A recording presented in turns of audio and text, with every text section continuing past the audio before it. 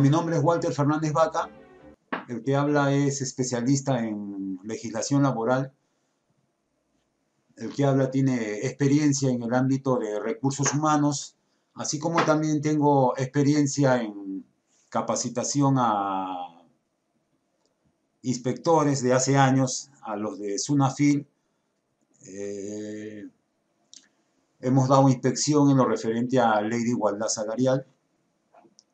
¿No? Entonces, y también conozco eh, la forma como ellos eh, realizan sus procesos en el ámbito de la inspección, en el ámbito de la investigación, ¿no? Y otros que vamos a ir viendo en este seminario, que tiene como objetivo prepararles a ustedes en el ámbito de conocimientos para el concurso público de SUNAFIL 2020. Este examen no es tan simple, me hace acordar a los exámenes de antes para ingresar a la Universidad San Marcos o a la Universidad Nacional de Ingeniería, ¿no? Hace muchos años, en mis épocas de joven, solamente nosotros teníamos acceso a, a postular a universidades del Estado como San Marcos o la UNI. Y las únicas privadas que habían eran Pacífico o la misma Católica, ¿no? Pero la gran mayoría de clases medias podíamos postular a a San Marcos y a la UNI, ¿no? Yo tuve la, bendición de ingresar a San Marcos y el examen no era nada fácil. Postulaban 45 mil para 3 mil vacantes. Entonces me hace acordar algo estos exámenes, ¿no? Que hay para SUNAFIL, porque postulan de todas las, de todas las ciudades de Lima, de, del Perú, de todas las regiones, de todos los departamentos. Entonces, el objetivo que tenemos el día de hoy es el de contribuir con un grano de arena, vamos a llamarlo así, en el conocimiento de ustedes en el campo de la legislación laboral, en el campo de la, de la seguridad y salud en el trabajo. Aparte de tomarles examen de conocimientos, a ustedes, a los que van a postular, también les van a tomar examen de capacidades, ¿no? En el ámbito psicotécnico, en el ámbito de razonamiento verbal, razonamiento matemático. Yo creo de que prepararles a ustedes en razonamiento matemático, razonamiento verbal, en estos días que faltan va a ser muy difícil. Ustedes mismos tienen que, tienen que, tienen que acoger, en todo caso, obtener documentación que se prepare específicamente para la Universidad San Marcos y para la UNI el nivel para ingresar a Sunafil es alto. Les voy adelantando eso, estimados amigos. El nivel es muy alto, ¿no? Y los exámenes que ellos utilizan son tipo San Marcos, tipo UNI. Hasta el año pasado ellos contrataron a un tercero que es la Universidad San Marcos para que hagan los exámenes psicotécnicos, ¿no? los exámenes en el ámbito de razonamiento verbal, razonamiento matemático. Entonces el nivel es alto.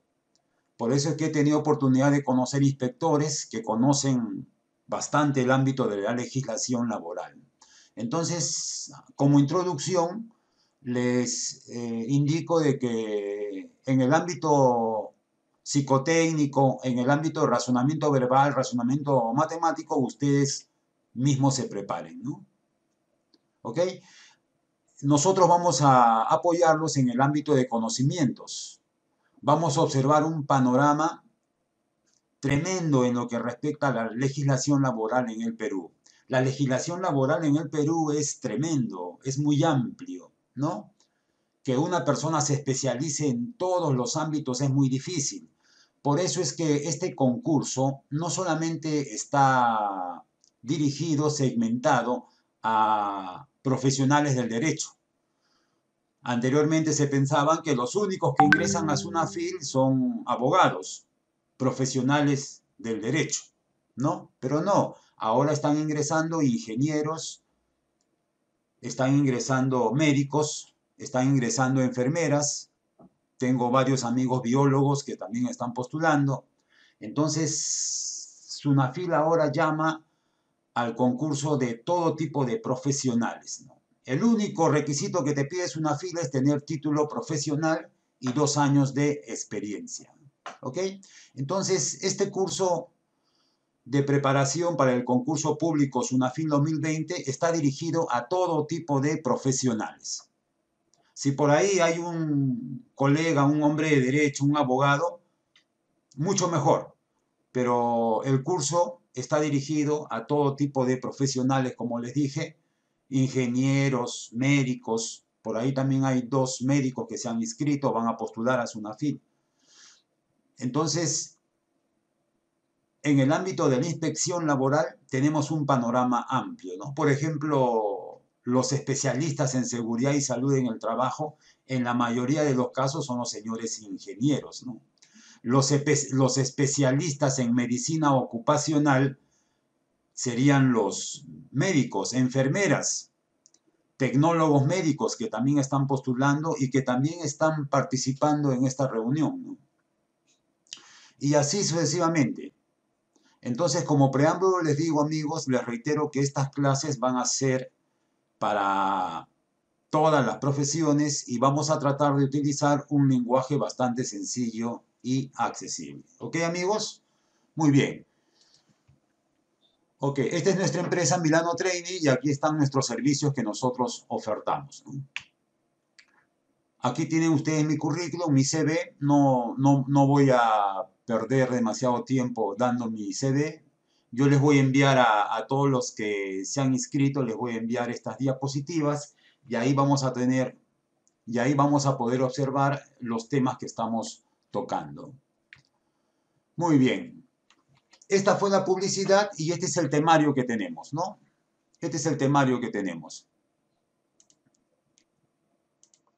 En una primera parte vamos a hablar acerca de legislación laboral, vamos a tocar tópicos de seguridad y salud en el trabajo, vamos a hablar también sobre el plan de vigilancia normatividad, vamos a hablar acerca de políticas salariales, Vamos a tocar aspectos de prevención, sanción, hostigamiento sexual y vamos a tocar aspectos de la protección del embarazo y lactancia.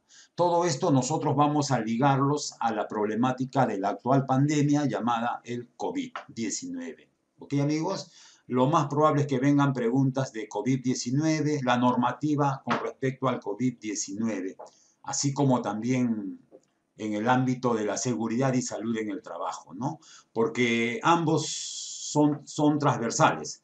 Legislación laboral y tiene ejes transversales que son la seguridad y salud en el trabajo, así como también toda la normatividad COVID que nosotros estamos observando. Entonces es necesario que leamos diversos aspectos. Yo aquí les voy a tocar de una manera global lo que ustedes tienen que estudiar, lo que ustedes tienen que investigar, ¿no? En el ámbito para sí, para así tener una un buen puntaje en lo referente al examen de conocimientos de SUNAFIL. ¿Ok, amigos? Muy bien, aquí está, la, aquí está el, el, llamado de SUNAFIL con respecto al concurso público, ¿no? Primera vez que SUNAFIL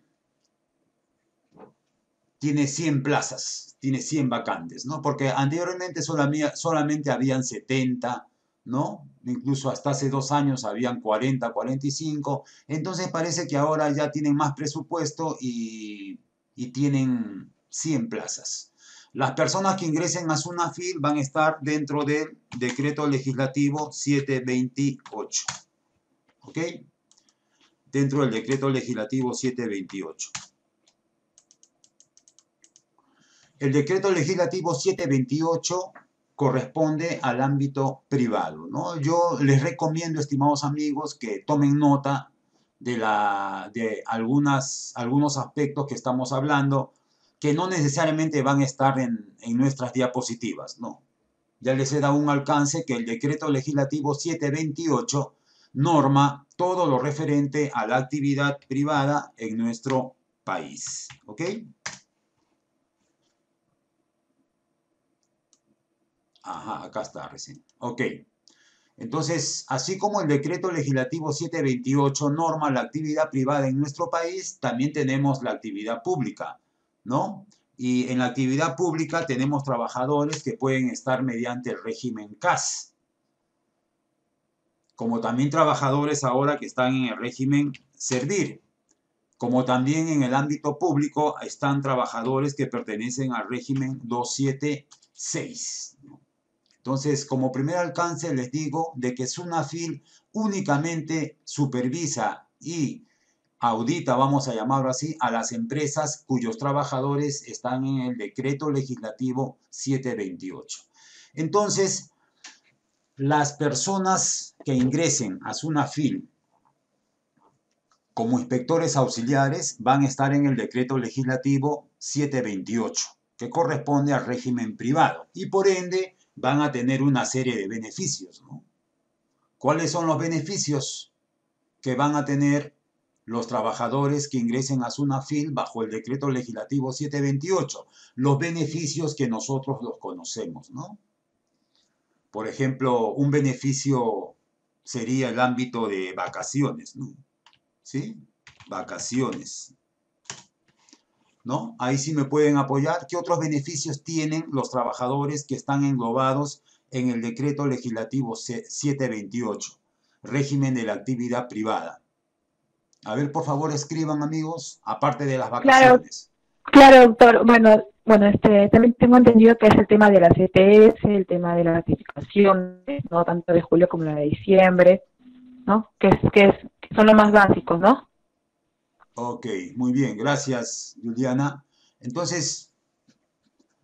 No te preocupes.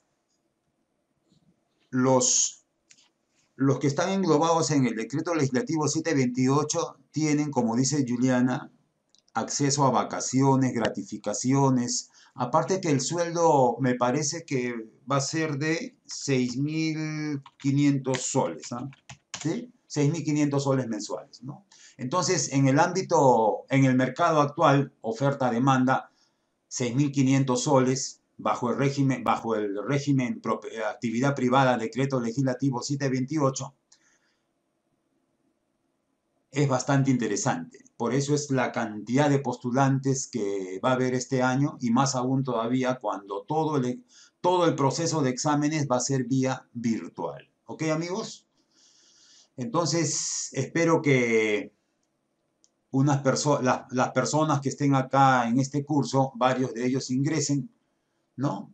Y como les dije, juntos vamos a ampliar nuestro horizonte en el ámbito laboral, ¿no? Para así tener un buen examen en el ámbito de los en el ámbito de conocimiento, ¿ok? Muy bien, ¿cuál es la responsabilidad de SUNAFIL? Sunafil promueve, fiscaliza y supervisa. ¿No? Sunafil ya tiene muchos años de creados. Hasta antes de la ley de, creación de Sunafil, el único ente que inspeccionaba era el Ministerio de Trabajo. ¿Ok? A Sunafil ahora lo conocen como la nueva SUNAT, porque SUNAT también empezó así, ¿no? SUNAT empezó como un órgano que pertenecía al Ministerio de Economía pero después poco a poco, en este momento, SUNAP ya tiene autonomía, es un órgano adscrito al Ministerio de Economía, pero SUNAFIL es un órgano adscrito a qué ministerio? Ya debemos de suponer que es un órgano adscrito al Ministerio de Trabajo, ¿no? Al Ministerio de Trabajo, así es. Entonces, la SUNAFIL es un órgano adscrito al Ministerio de Trabajo cuya finalidad y cuya responsabilidad es el de promover, promueve que las empresas cumplan con las normas laborales. Para eso hace capacitaciones constantes, ¿no? Ha estado haciendo capacitaciones virtuales, pero la verdad es que han debido hacer más, ¿no? Pero bueno, en todo caso, esperemos que que incremente su capacidad en la plataforma que tienen ellos para dar cursos virtuales, ahora con el COVID-19.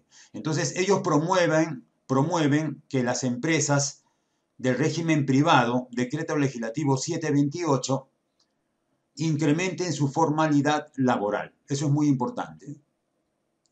Ellos también son responsables de fiscalizar.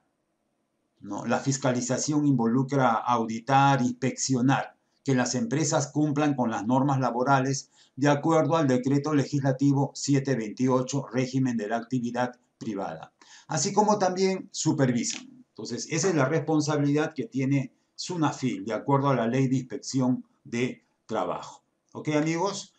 Si hay alguna pregunta, pueden escribir. Yo voy a recepcionar la pregunta siempre y cuando esté de acuerdo con el tópico que, estemos, que estamos tratando. ¿Ok?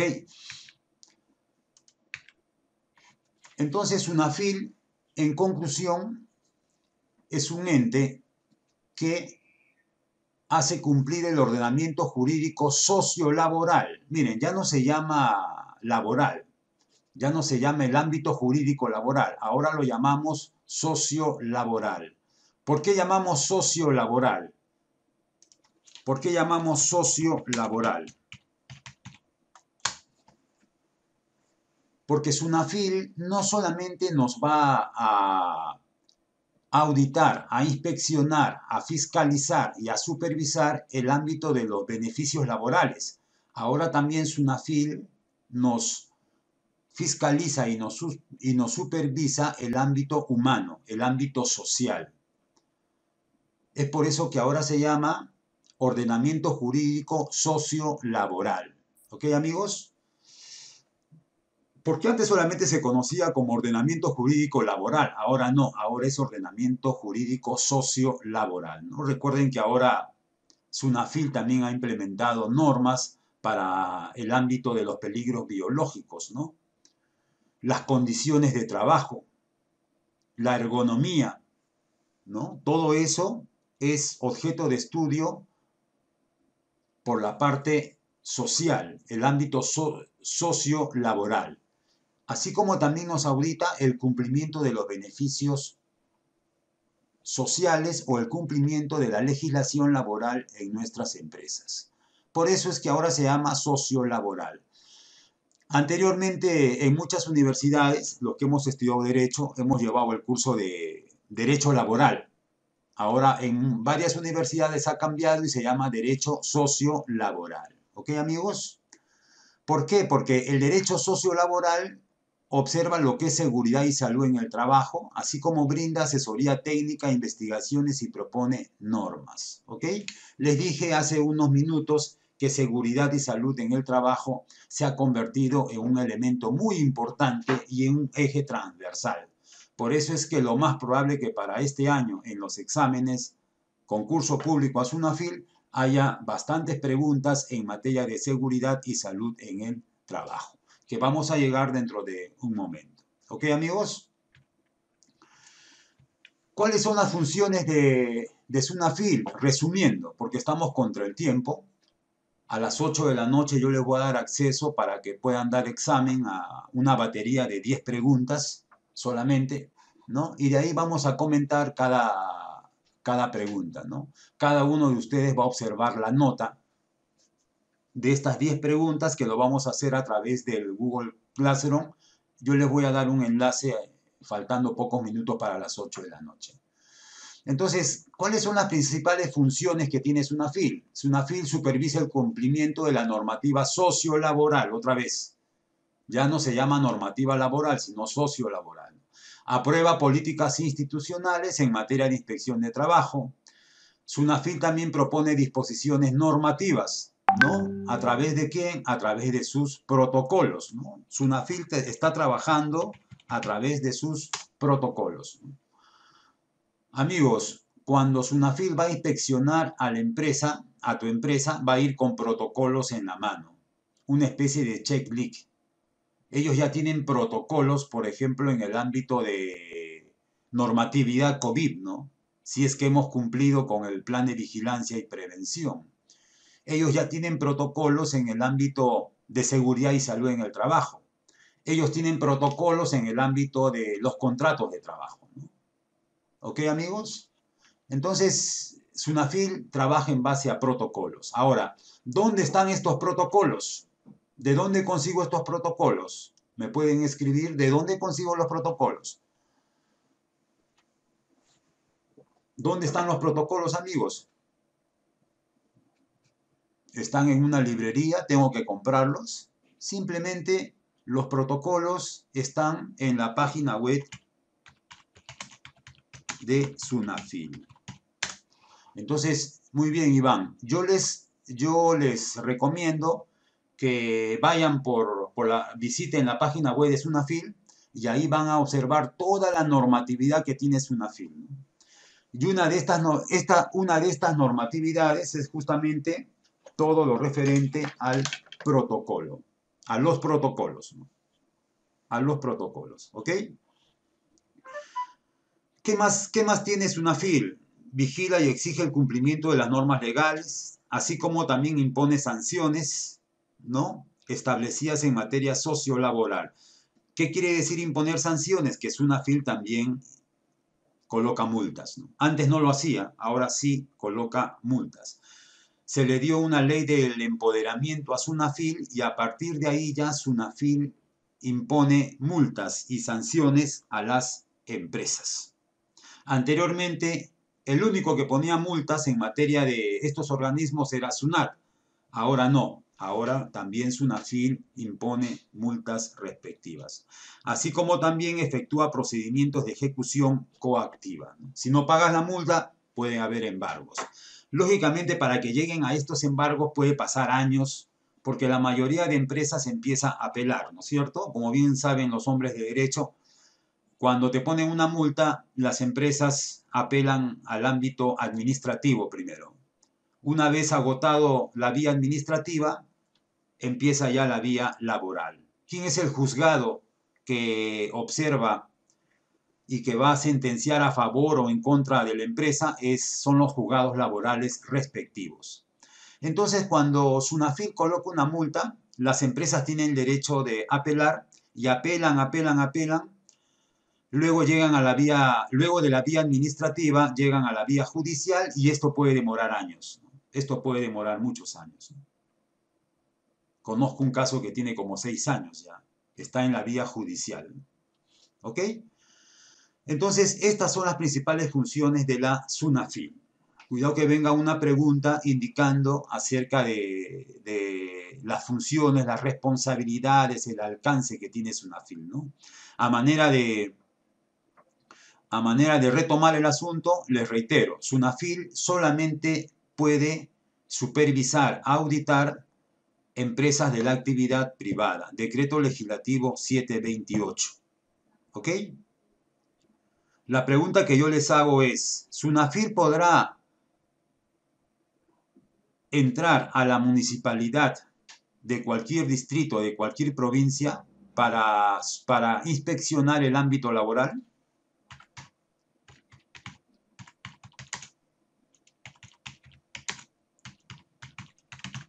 A ver amigos, pueden escribir. Si escriben es mejor. ¿ah? Elizabeth me dice que no puede. ¿Sunafil podrá entrar a, a los municipios? Muy bien, Iván. Exactamente. Sunafil sí puede entrar a municipalidades, siempre y cuando los trabajadores estén encuadrados dentro del decreto legislativo 728. ¿Ok?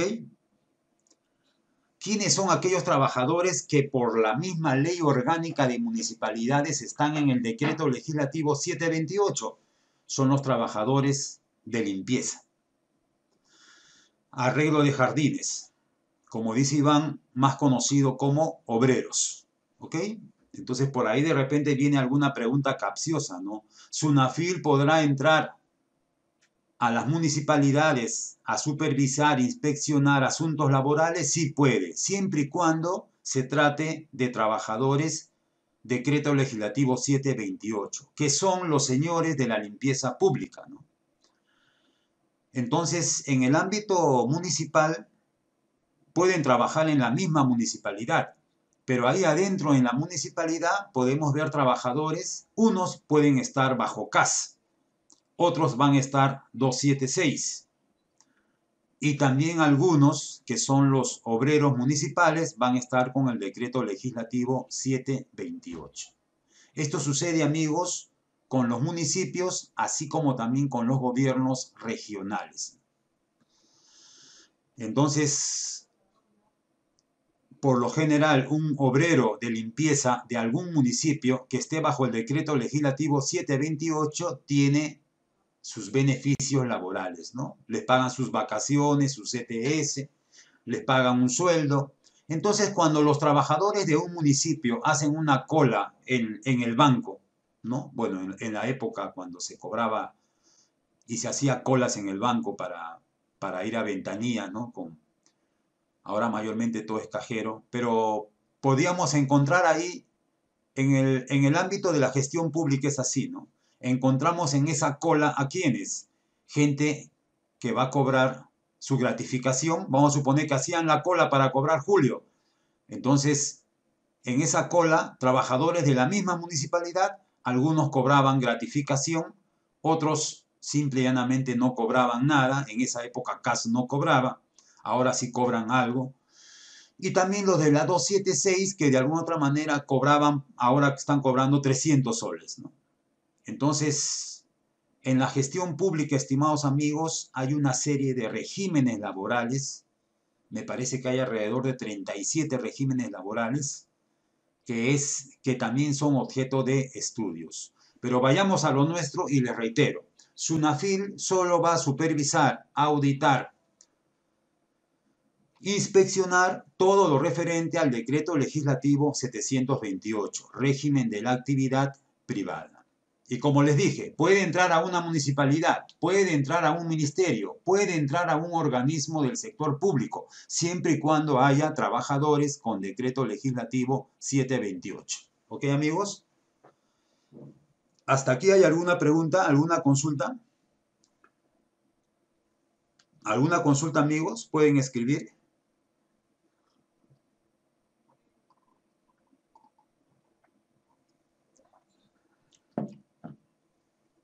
Muy bien, seguimos entonces. Ok, por ejemplo, una gran labor de Sunafil, no sé si llama la gran labor, fue cuando hubo, cuando hubo el, estos jóvenes que murieron en McDonald's, ¿no? Ahí estoy observando, ¿no? Lanzó un comunicado y ¿qué hizo Sunafil? Simple y llanamente multó. Hizo las observaciones del caso y multó. ¿No? Y llegó a estas conclusiones. La empresa no realiza evaluaciones de riesgos y controles periódicos. Recuerden que en diciembre, a fines de diciembre, época de fiestas, murieron dos jóvenes en McDonald's. ¿No? Estos jovencitos murieron por descarga eléctrica, 18, 19 años, trabajando a las 4 de la mañana no tenían equipos protectores, el, joven que estaba haciendo limpieza, eh, una descarga eléctrica y fallece. La enamorada, por salvarlo, le toma de la mano al joven y los dos fallecieron casi instantáneamente, ¿no? Fue un caso muy sonado. Entonces Sunafil intervino ahí. Por ahí hay responsabilidad de McDonald's, en este caso Arcos Dorados. ¿Por qué? Porque por ahí hay un informe que uno de los trabajadores, mediante un correo electrónico, había pasado a la gerencia, indicando que una máquina expendedora de gaseosas estaba pasando corriente. desde ahí ya McDonald's debió, o Arcos Dorados, que es la franquicia, Arcos Dorados, franquiciante de McDonald's, debió tomar medidas, pero no lo hizo. Por eso, es, por eso es que Sunafil actúa, investiga, inspecciona, audita y llega a estas conclusiones que estamos observando en la diapositiva. ¿no? La empresa no realizó evaluaciones de riesgos y controles periódicos del personal a su cargo. No cumplió con brindar información y capacitación a sus trabajadores. Entonces parece que no se probó las cuatro capacitaciones por año que tiene que dar toda empresa en materia de seguridad y salud en el trabajo solamente. Por ahí si viene una pregunta, ¿cuántas capacitaciones por año tiene que dar una empresa en seguridad y salud en el trabajo? Cuatro capacitaciones. Tampoco les advirtió de los riesgos que implicaban sus puestos de trabajo. La única capacitación que les daba McDonald's de vez en cuando era virtual. Por eso es que a raíz de este accidente McDonald's hubo un antes y después en materia de seguridad y salud en el trabajo también. Porque a raíz del accidente en McDonald's, Sunafil creó nuevas normas que lo vamos a ir viendo poco a poco. el reglamento interno de seguridad y salud en el trabajo, que es obligatorio para todas las empresas mayores a 20 trabajadores, no contiene estándares de seguridad ni limpieza para las áreas. McDonald's tampoco entregó equipos de protección personal, tampoco brindó condiciones de seguridad, tampoco realizó su supervisión efectiva, ¿no? Entonces, al final, amigos, a consecuencia de ello es que Sunafil hace cambios, ¿no? Y dice, las capacitaciones ya no pueden ser virtuales, ahora tienen que ser presenciales. Pero esto ha sido dejado de lado por la etapa de emergencia que tenemos, ¿no? Por la, por la declaratoria de emergencia ha sido dejado de lado y hasta que dure la declaratoria de emergencia sí se va a permitir seminarios virtuales, capacitaciones virtuales en materia de seguridad y salud en el trabajo. ¿Ok? ¿Qué más? ¿Qué otra normativa sacó SUNAFIL? 10 días para investigar, puede haber más de una inspección anual, ¿no? Y cuando hay, cuando existe muerte en algún accidente laboral, se tiene que publicar en un diario de circulación local. ¿Qué pasa con la seguridad y salud en el trabajo? A nivel mundial es toda una, una pandemia, vamos a llamarlo así, una problemática tremenda. Cada 15 segundos, cada 15 segundos muere un trabajador por algún accidente de trabajo. Aquí en el Perú, cada 36 horas muere un trabajador por accidente de trabajo. Y estamos hablando de reportes, ¿ah? pero también aquí en el Perú, donde hay alrededor del 70% de informalidad laboral, constantemente hay accidentes, pero que no son reportados. Entonces, como es crítico el ámbito de la seguridad y salud en el trabajo, es que SUNAFIL ha puesto sus ojos y constantemente fija normativas en materias de seguridad y salud en el trabajo. ¿Ok, amigos? Eso lo vamos a ver posteriormente cuando lleguemos a seguridad y salud en el trabajo. Por ahí lo más probable que la mitad de preguntas sean relacionadas con seguridad y salud en el trabajo y con, y, con la normativa COVID-19, ¿no? que es justamente lo que, va, lo que estamos conversando. ¿Ok? Muy bien. ¿Están ahí, no amigos? ¿Sí? ¿Están ahí? Contéstenme con un sí. Sí, doctor. Ah, ya, súbame la moral. Están ahí, ¿no? Para seguir avanzando. Ya, ok, no se olviden. Salud con ustedes y espero, y lo mejor de lo mejor para su examen concurso público Sunafil 2020. Muy bien amigos, seguimos entonces. Entonces poco a poco estamos viendo, viendo los tópicos que hemos indicado al, al inicio. Ok. ¿Cuáles son las, obligaciones del empleador? Esto fue una pregunta hace dos años, concurso público a Sunafil. No. Si Sunafil está en la puerta de tu empresa, la empresa tiene 10 minutos para abrirle la puerta. Así de simples. ¿Por qué? Porque como no había ninguna norma, entonces las empresas podían demorar 30 minutos, una hora, ¿no? O aburrir al señor inspector y el señor inspector tenía que irse. A consecuencia de ello sacaron una, una normativa en el cual el inspector toca el timbre y solamente en caso que sea una empresa cerrada, toque el timbre y solamente puede esperar 10 minutos. Si es que espera más de 10 minutos, ya estamos hablando de una falta grave, ¿no? Esta falta grave, ¿cómo se llama? A ver, escriban amigos. ¿Qué pasa si tú no le abres la puerta a Sunafil? No le permites la entrada a tu empresa, aunque toda empresa es lugar público, pueden entrar, pero hay empresas que trabajan con las puertas cerradas, como son las industrias, ¿no? ¿Cómo se llama esta, cómo está tipificado esta falta grave? Obstrucción a la inspección laboral.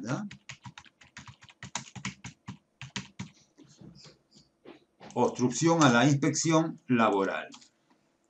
Así se le llama esta falta. Entonces, 10 minutos esperan y si es que no si es que el empleador, la empresa no les abre la puerta, ya es una falta grave. que se llama obstrucción a la inspección laboral. Ahora, puede ser una falta muy grave ¿ah? y puede dobletear la multa cuando Sunafil detecte que es el mismo gerente, el mismo administrador, que es el que no les abre la puerta, ¿no? Sunafil puede ir y de repente el señor vigilante le dice, no señor, yo tengo orden de que no entra nadie. Pero si el vigilante llama por teléfono al jefe de personal, al administrador o al dueño, Sunafil ya tiene evidencias de que el dueño, el administrador o el jefe de personal sabían de que Sunafil estaba en la puerta. Entonces esto ya está tipificado como muy grave y la multa aumenta. La multa aproximadamente es 19.800 soles por no dejar entrar a los inspectores de Sunafil. Es por eso que a mis clientes yo les recomiendo, ¿no? Caballero nomás, si viene Sunafil a la empresa, ábranles la puerta. Lo primero que tienen que hacer es ponerse rodilleras y salir, abrirles la puerta con la mayor educación, ¿no? Siendo muy gentiles, hacerles pasar a la empresa. ¿Por qué? Porque ahora Sunafil tiene un poder inspectivo tan igual o mucho, o mucho más que la propia Sunat. ¿Ok, amigos? Entonces, eso es muy importante. Seguimos entonces. Los señores de Sunafil que van tienen que acreditar su identidad, ¿no es cierto? Ellos nos van a enseñar su fotocheck y también su DNI. Nosotros como empresa podemos tomar su fotocheck y su DNI, entrar a la computadora, a la página web de Sunafil y ahí va a estar, y ahí vamos a observar que es un supervisor que está acreditado por la, por la misma Sunafil. ¿Ok? Tienes razón, Juliana, a veces las multas son más altas que la propia ciudad. Estoy seguro que si se hace una encuesta a todos los empresarios de, Lima, ya no van a marcar que Sunat es el monstruo con el que tienen que lidiar, ¿no? Ahora lo más probable es que los empresarios marquen ahí Sunafil. ¿Por qué? Por la cantidad de normativas que hay y porque cada vez más hay mayores inspecciones, ¿no? Hay más presión a las empresas al cumplimiento de la legislación laboral respectiva. Entonces, acreditar su identidad. ¿Qué más tenemos? La persona que va a atender a SUNAFIL tiene que acreditar su poder mediante un acta o algún otro documento. Eh, como les dije, hay que brindar facilidades y colaborar con el inspector. Hay veces SUNAFIL se planta en tu empresa dos, tres días. ¿ah? O regresa al día siguiente. Va a depender del tamaño de la empresa. Sunafil cuando va a tu empresa, si es una empresa industrial de repente de 500 trabajadores, de 1000 trabajadores, Sunafil ya ha hecho un estudio, ya sabe cuántas puertas hay, ¿no? Ellos ya vienen con información de, de Sunat, vienen con información del PLAME, ¿no? Del T-Registro. Entonces Sunafil ya viene con información, ¿no? Entonces, ellos ya saben a dónde están yendo y de repente hasta ya conocen cuáles cuáles las normas que se están incumpliendo, ¿no? En materia de en materia socio-laboral. ¿Ok? ¿Cuáles son las facultades de los señores inspectores? Como les dije, amigos, entrar libremente al centro de trabajo, ¿no? Salvo en el caso que la empresa también sea el domicilio, ¿no? Si es el domicilio ya tendrían que tener alguna orden legal, pero si es cualquier centro de trabajo, simplemente ellos pueden entrar, incluso pueden entrar con ayuda de la policía, ¿no? O, con ayuda de la, de la fiscalía. Comunicar su presencia al sujeto inspeccionado a menos que consideren que dicha comunicación puede afectar la eficacia de sus funciones. Simplemente, si ellos desean, comunican o no al administrador pueden entrar a, uno de estos supermercados que está abierto y empezar a inspeccionar tranquilamente. Si tenemos un negocio, una empresa puerta abierta, entran sin ningún tipo de, de permiso. Pueden hacerse acompañar por los trabajadores, ¿no? representantes. Pueden, los señores inspectores de Sunafil pueden dar un cuestionario, preguntar a los trabajadores, O de repente llamar a los trabajadores y decirle al señor jefe de personal, administrador o al empresario que se retire, que solamente va a conversar con los trabajadores. En una empresa, en una empresa cliente me llamaron por teléfono y me dijeron que al gerente general le habían dicho que salga de las oficinas, que iba a conversar con, que solamente Sunafil iba a conversar con los trabajadores. El gerente general se opuso y dijo, ¿por qué? No, yo soy el dueño de esta empresa. Al final Sunafil no se hace problemas y cuando hay renuencia al cumplimiento de sus indicaciones, ellos colocan en un acta. Ellos no están para pelear. Ellos ya tienen ya la, la indicación, la capacitación que solamente anotan en un acta, ¿no? Y ahí colocaron que el gerente se negó a salir de las oficinas porque según él consideraba que era su empresa y que tenía que estar en las oficinas de esta empresa. Entonces al gerente le pusieron una multa de 24 mil soles por obstrucción a la labor inspectiva. ¿Ok amigos? Las multas de Sunafil por si acaso van aumentando. ¿no? Eso se llama, y los hombres de derecho sabemos, eso se llama concurso de multas, ¿no? Entonces, los inspectores UNAFIL tienen poderes, ¿no?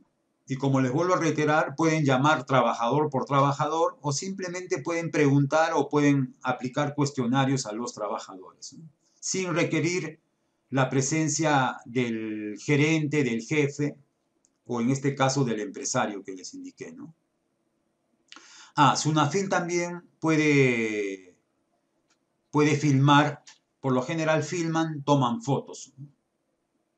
Si observan de repente una escalera para subir al segundo piso, una escalera de madera en malas condiciones, toman foto y ya es una observación que hay que puede conducir a multas, ¿no?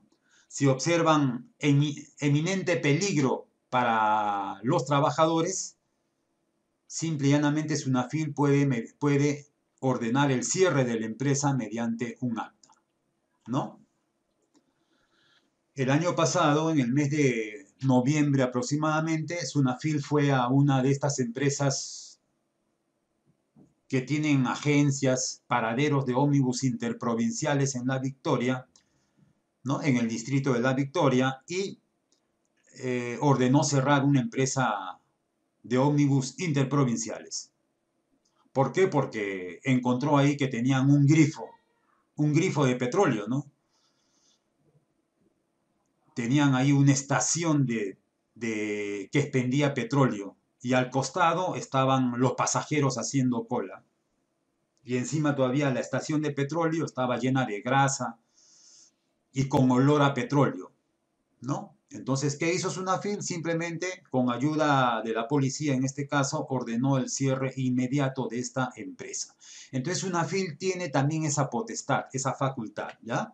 El de ordenar el cierre de una empresa. En este caso es constante, y ustedes lo saben, cuando ordena la paralización de obras, específicamente en el ámbito de la construcción civil, donde constantemente se incumplen normas laborales y normas en el ámbito de la seguridad y salud en el trabajo. ¿Ok, amigos?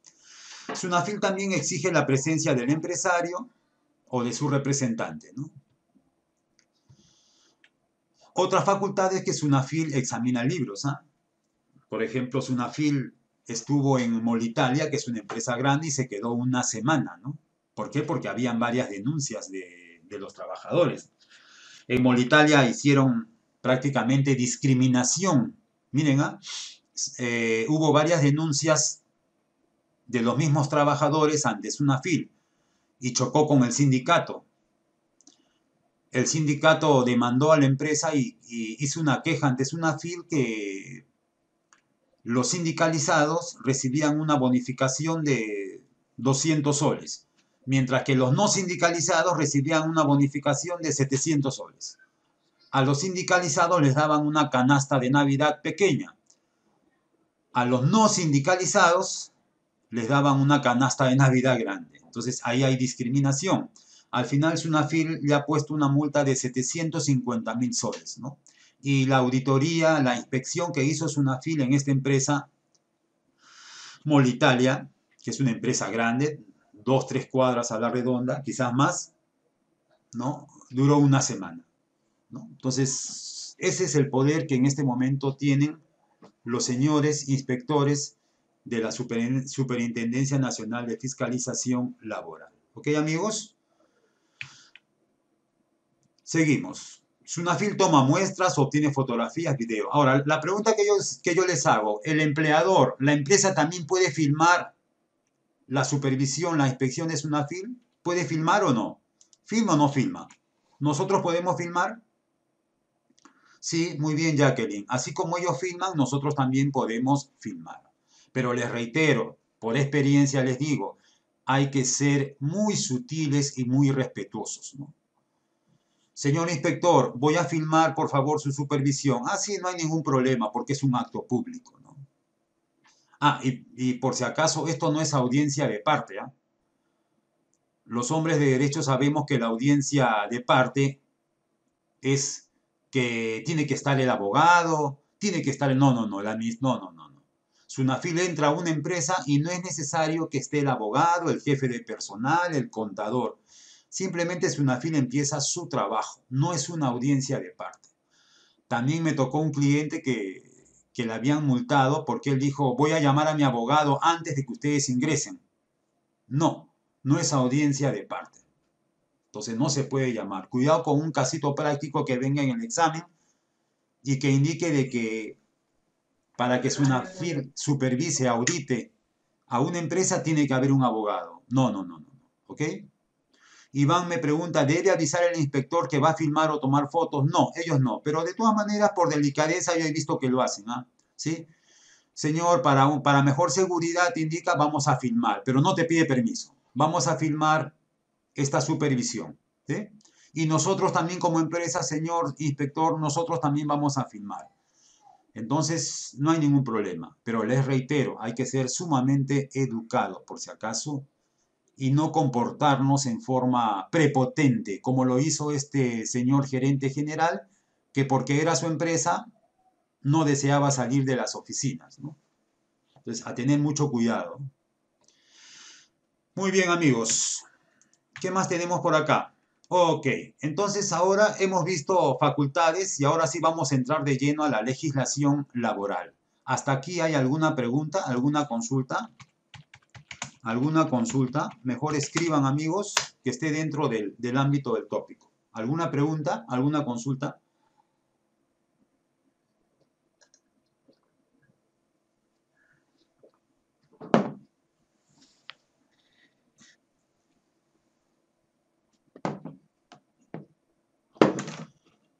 Muy bien.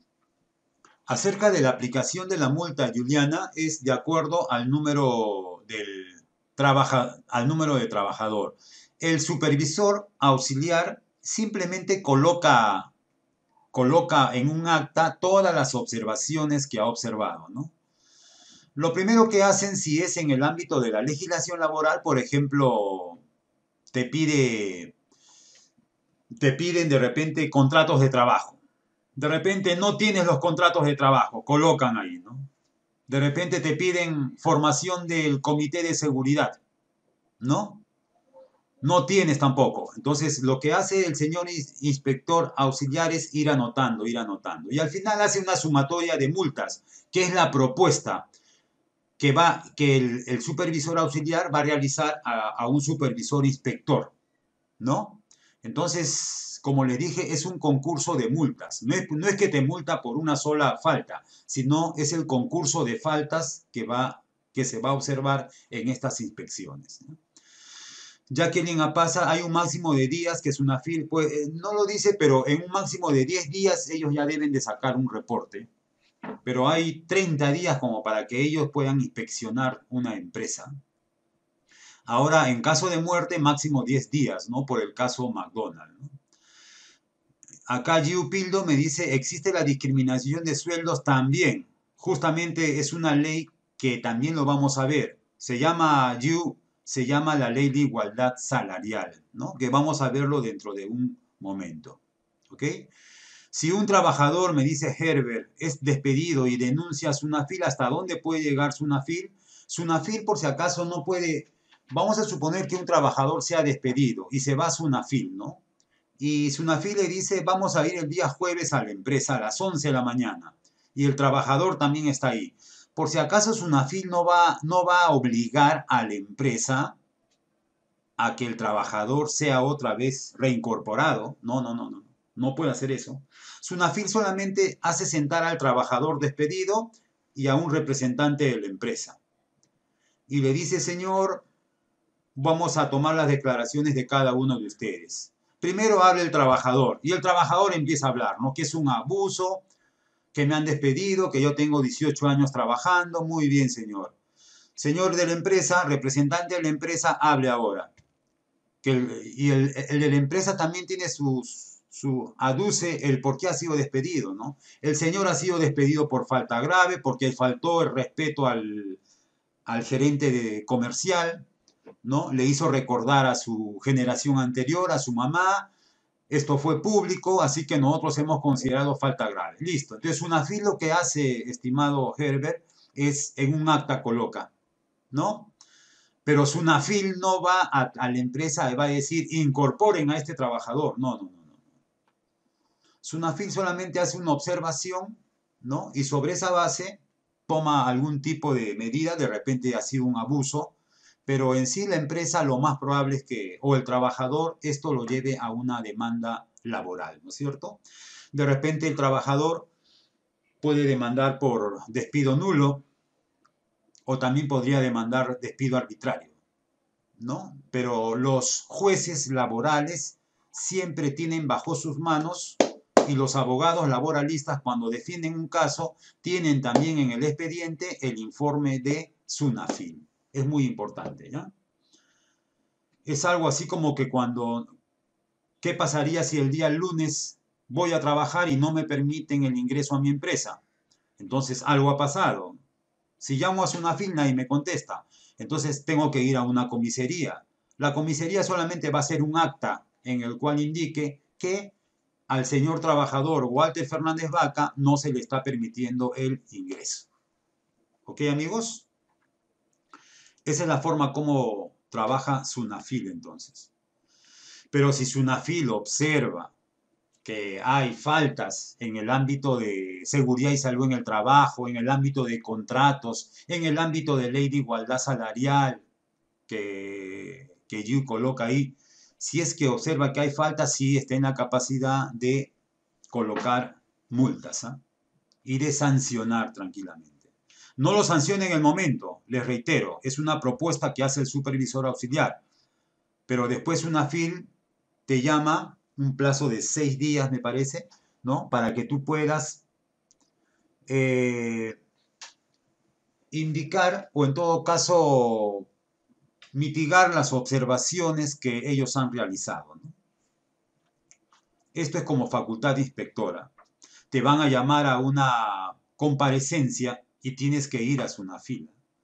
Si ellos dicen, tienes que ir a las 10 de la mañana del próximo lunes, tienes que estar ahí 9 y 45. Porque si pasa a las 10 de la mañana, simple y llanamente ya es multa. En este caso tiene que ir un representante de la empresa debidamente acreditado, ¿no? con algún tipo de documentación. ¿Ok, amigos? Muy bien. Entonces, ahora sí, pasamos a las obligaciones laborales. Esto nosotros como postulantes a Sunafil debemos de conocer. Sunafil te pide que conozcas un mínimo de la legislación laboral, pero ese mínimo puede ser un 30%, 40%. Sunafil sabe que la legislación laboral es amplia.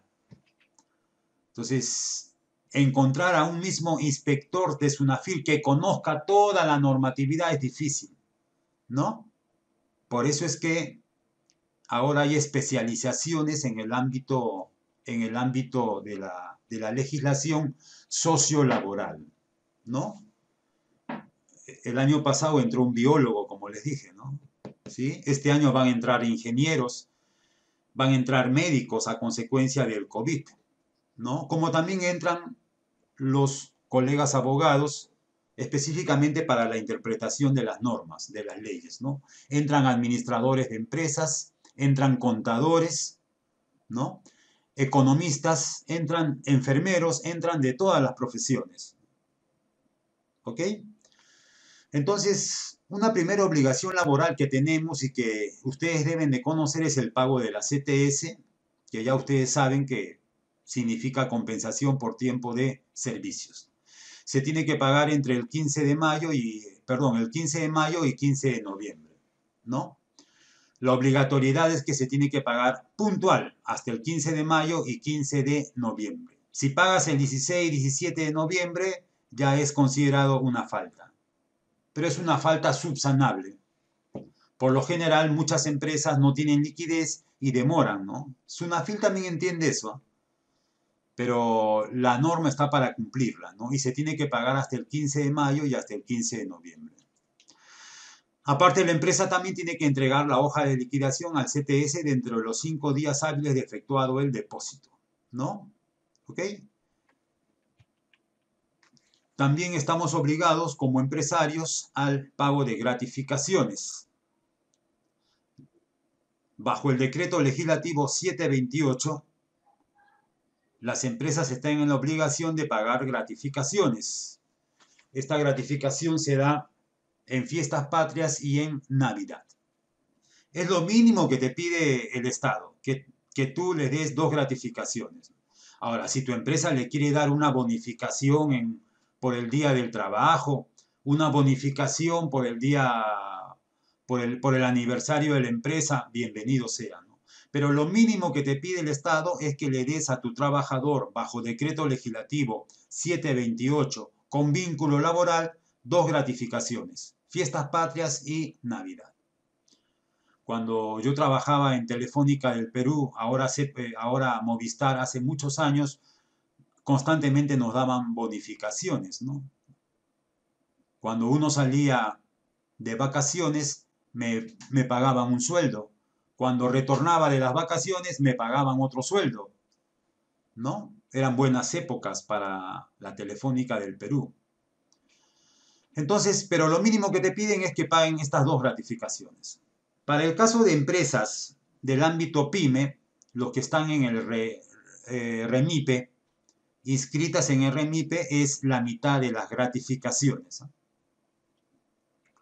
Pero hay que tener mucho cuidado porque hay empresas hay empresas que aducen que están en el RENIPE y con ese cuento no pagan gratificaciones o te pagan la mitad. En este caso, amigos, es fácil entrar a la página entrar a la página web de, del Ministerio de Trabajo y ahí sale una lista de empresas que están en el REMIPE y ellas sí no te van a pagar el 100% de gratificaciones, sino te pagan el 50% solamente. Pero es una mínima parte, ¿no? De trabajadores. La gran mayoría que estamos en el decreto legislativo 728 recibimos dos gratificaciones. ¿Qué pasa si la gratificación nos pagan después del 15? Puede, puede ser. Pero porque te pagan el 16 no vas a ir a reclamar a una firma. Como les vuelvo a reiterar, aquí hay mucha flexibilidad porque Sunafil también entiende que hay empresas que están en crisis y que definitivamente hay que ser sumamente flexible con ellos. ¿Ok? El pago de utilidades también implica, implica una supervisión por parte de Sunafil. ¿Quiénes son las empresas que tienen que pagar utilidades a sus trabajadores? aquellas empresas que generen rentas de tercera categoría, ¿no es cierto? Y que tengan fines de lucro. El caso de las universidades, ¿no? Hay universidades que son asociaciones con fines de lucro, perdón, asociaciones sin fines de lucro, y hay universidades que son sociedades anónimas cerradas. Yo que trabajo en católica, yo no recibo utilidades, ¿Por qué? Porque Católica es una asociación sin fines de lucro. Pero tengo amigos que trabajan, por ejemplo, en, las, en la Universidad San Ignacio de Loyola. La San Ignacio, San, San Ignacio de Loyola sí es una sociedad anónima y por ende tiene que pagar utilidades. Toda empresa, sociedad anónima, EIRL, sociedad colectiva, sociedad, eh, diversas sociedades que hay, tienen que pagar utilidades. ¿Ok? Siempre y cuando, ojo, tenga más de 20 trabajadores como promedio. Este pago de utilidades viene, viene del siglo pasado, de la época del Velascato, ¿no? En la década del 70. Así que de la torta, de la torta que tiene la empresa utilidades, una partecita es para los trabajadores, ¿no? Y va a depender de la cantidad de horas que trabaje. No hay muchas diferencias entre las utilidades de un trabajador, de un operario, con las utilidades que tiene un jefe. Porque la legislación es así, ¿no? Para que no haya discriminación. Hay empresas mineras que pagan o pagaban 60 mil, 70 mil soles de utilidades por año, ¿no? Este año, una compañía minera que el, año pasado pagó 55 mil soles de utilidad, este año pagó 30 mil soles de utilidad. Los trabajadores se fueron a la huelga, ¿no? ¿Por qué? Porque ellos están acostumbrados a recibir utilidades 50, 70 mil soles. Entonces, hay empresas donde sí el pago de, utilidades es muy, muy jugoso, ¿no? ¿Sí? Compañías mineras, compañías ligadas al rubro hidrocarburos, o también muchas empresas industriales, ¿no? donde pagan muy buenas utilidades. Los bancos también están en la obligación de, de pagar utilidades. El porcentaje varía por si acaso. Compañías mineras, compañías industriales del 8 al 10%. Compañías financieras solamente el 5% es destinado a pago de utilidades.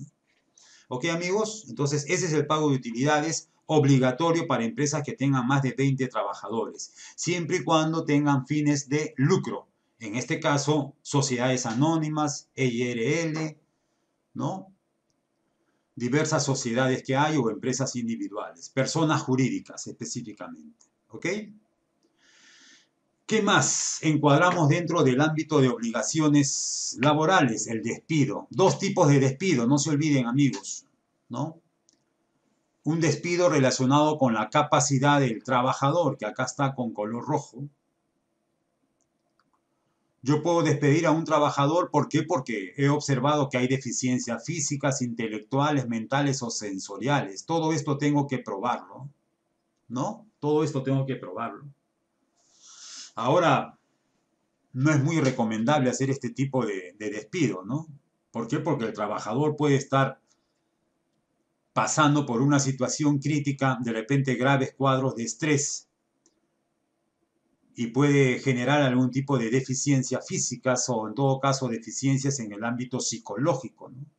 Ahora, si despido a un trabajador por deficiencia física, de repente el trabajador me realiza una demanda indicando que yo tengo la culpa, que yo como empresario tengo la culpa de su deficiencia física, ¿no?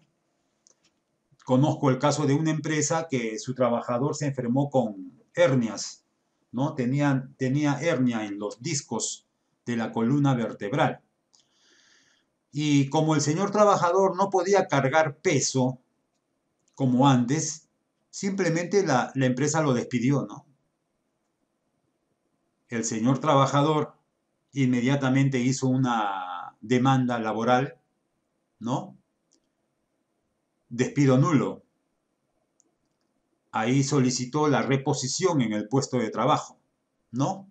Y en la demanda echó la responsabilidad de, del mal que tenía, del mal en la columna, en los dos discos de la columna, echó la culpa a la empresa, porque la empresa simplemente no había implementado sistemas de gestión en seguridad y salud en el trabajo el trabajador nunca había pasado medicina ocupacional. Esa es la importancia del EMO, amigos. Puede, puede, ser una pregunta. Ojo, ¿qué es un EMO? ¿Qué significa EMO, amigos? Muy bien, Paul. Examen médico ocupacional. Todas las empresas tienen que pasar a sus trabajadores, no se olviden, examen médico ocupacional, al ingreso y, al, a, la, la salida, ¿no? Es decir, en la vinculación y en la desvinculación tiene que pasar un examen médico ocupacional. Eso ya está normado, ya, por si acaso. Empresas de alto riesgo tiene que pasar un examen ocupacional al inicio de la vinculación cada año a sus trabajadores, así como también a la salida de sus trabajadores. Entonces, el LEMO, examen médico ocupacional, tiene que ser pasado por las clínicas autorizadas. Por eso es que vemos bastantes clínicas ocupacionales, especialmente se han encuadrado aquí en la zona de San Borja, muy cerca de la Victoria. Entonces ahí van trabajadores para hacerles pasar el examen médico ocupacional, por si acaso. Entonces, el examen médico ocupacional, amigos, también es un seguro para la empresa. Porque en el examen médico ocupacional va a salir si el trabajador tiene algún tipo de dolencia. De repente tiene problemas en el ámbito auditivo antes de ingresar a mi empresa. De repente tiene problemas en la columna. De repente tiene problemas en, el hemograma, análisis de sangre. ¿No? Entonces, de alguna otra manera, yo como empresario me aseguro de que el trabajador esté entrando con buenas condiciones o con regulares condiciones a mi empresa y que no sea pasible de futuras demandas laborales. Si en el lemo sale que mi trabajador es un poquito sordito, no escucha, entonces es un seguro para mí, ¿no? y de repente este trabajador está justo en la, me está trabajando en la empresa industrial donde están las maquinarias que hacen ruido, ya no me puede echar la culpa porque también él de alguna otra manera ya llegó con enfermedades en el ámbito auditivo. El trabajador después del demo puede estar apto, apto con observaciones o en todo caso inapto. No, no, no puede trabajar. ¿Ok amigos? Ese es el lemo. No vaya a ser que venga ese, esa pregunta. Eh, acá hay una pregunta de Paul. ¿Qué pasa si una empresa paga gratificaciones a sus trabajadores más antiguos y a los nuevos los tiene como remipe?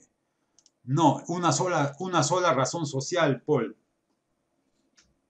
Se supone que esa razón social o esté inscrita o, o no esté inscrita, así de simple, ¿no? A no ser que en la misma empresa tengan dos razones sociales. Y en un acto de camuflaje, que es observado también por, por Sunafil, en esta empresa hay una empresa con vínculo laboral normal, régimen general, pero también tiene una empresita que está en el REMIPE. Eso sí sería un acto de camuflaje, ¿no? Con la finalidad de bajar costos. Entonces, si hay quejas y hay inspecciones una fil, va a haber una observación. El mismo Indecopi, amigos, ha sacado el día de hoy, ha sacado una norma para evitar este tipo de, en todo caso, deslealtad en el ámbito de la competencia, ¿no? Entonces, definitivamente no, no podría la empresa hacer este tipo de discriminación.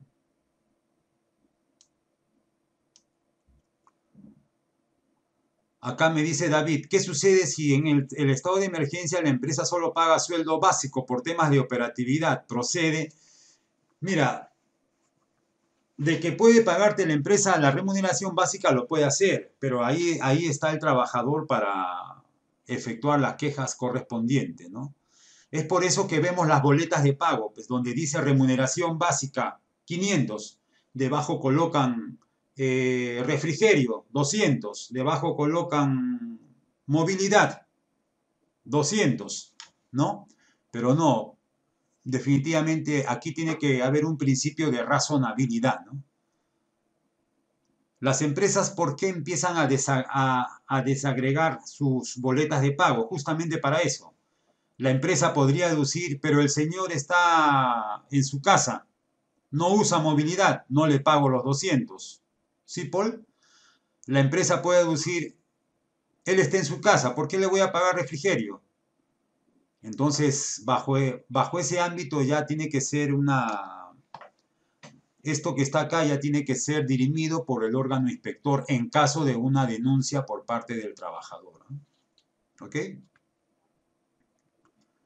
Yo trabajé en una empresa, me dice, María Elena, que a cambio de y los antiguos estaban bajo el régimen y los que ingresaron después recibían 50% de gratificación. Sí, eso está prohibido, María Elena.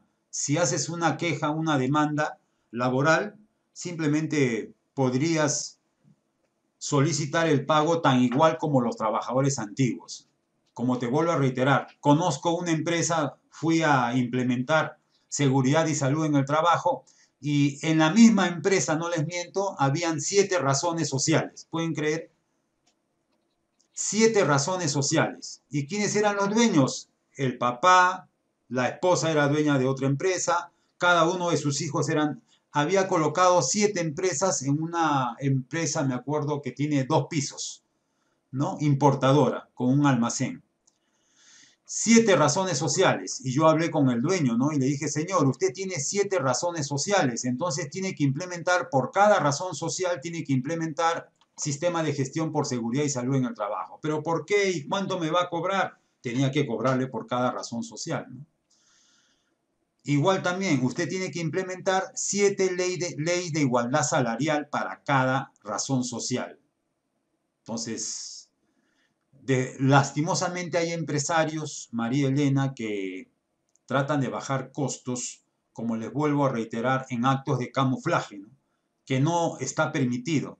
Pero para eso también están las demandas, las quejas que tiene que hacer el trabajador. A veces los trabajadores no pueden quejarse porque están laborando en la actualidad. Pero una vez que el trabajador renuncie, ahí sí se frotan las manos y meten la demanda, ¿no? Se supone que ya no tienes vínculo laboral y ahí podrías hacer la demanda respectiva para que este 50% que no te pagaron en tu gratificación vayan dentro de la liquidación de beneficios sociales que tiene que pagar. ¿Ok, amigos?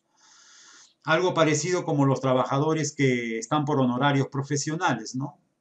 ¿Y por qué no demandas ahorita? No, espérate, dicen, ¿no? El próximo año me voy de esta empresa, tengo ocho años como por honorarios y ahí me van a conocer, ¿no? ¿Sí? Y al final meten la demanda y fácil la ganan en los juzgados respectivos, ¿ah? Los jueces laborales ya lo saben, ya has estado por honorarios, ya, ya saben pequeñas cargas de prueba que tienen, ¿no? ¿Está por honorarios profesionales? Sí. ¿Cuál es la mejor prueba? Me han dado un correo corporativo. ¿Cómo le vas a dar un correo corporativo a un trabajador supuestamente que está por honorarios profesionales? Aquí entra en juego un principio que también les pueden preguntar, amigos. Este principio se llama, que es muy usado en el ámbito laboral, y fila cada rato lo usa, no sería nada raro que te pregunten. El principio de primacía de la primacía, perdón, primacía de la realidad, ¿eh? primacía de la realidad. Primacía de la realidad. Así se llama el principio. ¿Ok?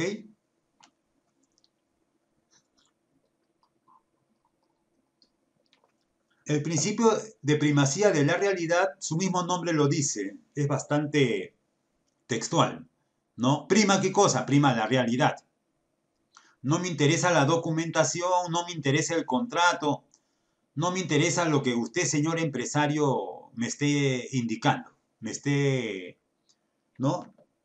Lo que está hablando usted, señor empresario. Lo que me interesa es la realidad. ¿Y cuál es la realidad? La realidad es que este trabajador no debe estar por honorarios. ¿Y por qué? Usted le ha dado un correo corporativo. El trabajador tiene memorándum de llamadas de atención, una locura, ¿no es cierto, amigos? ¿Cómo vas a darle un memorándum de llamada de atención a un trabajador por honorarios profesionales? ¿Cómo le vas a dar un correo corporativo?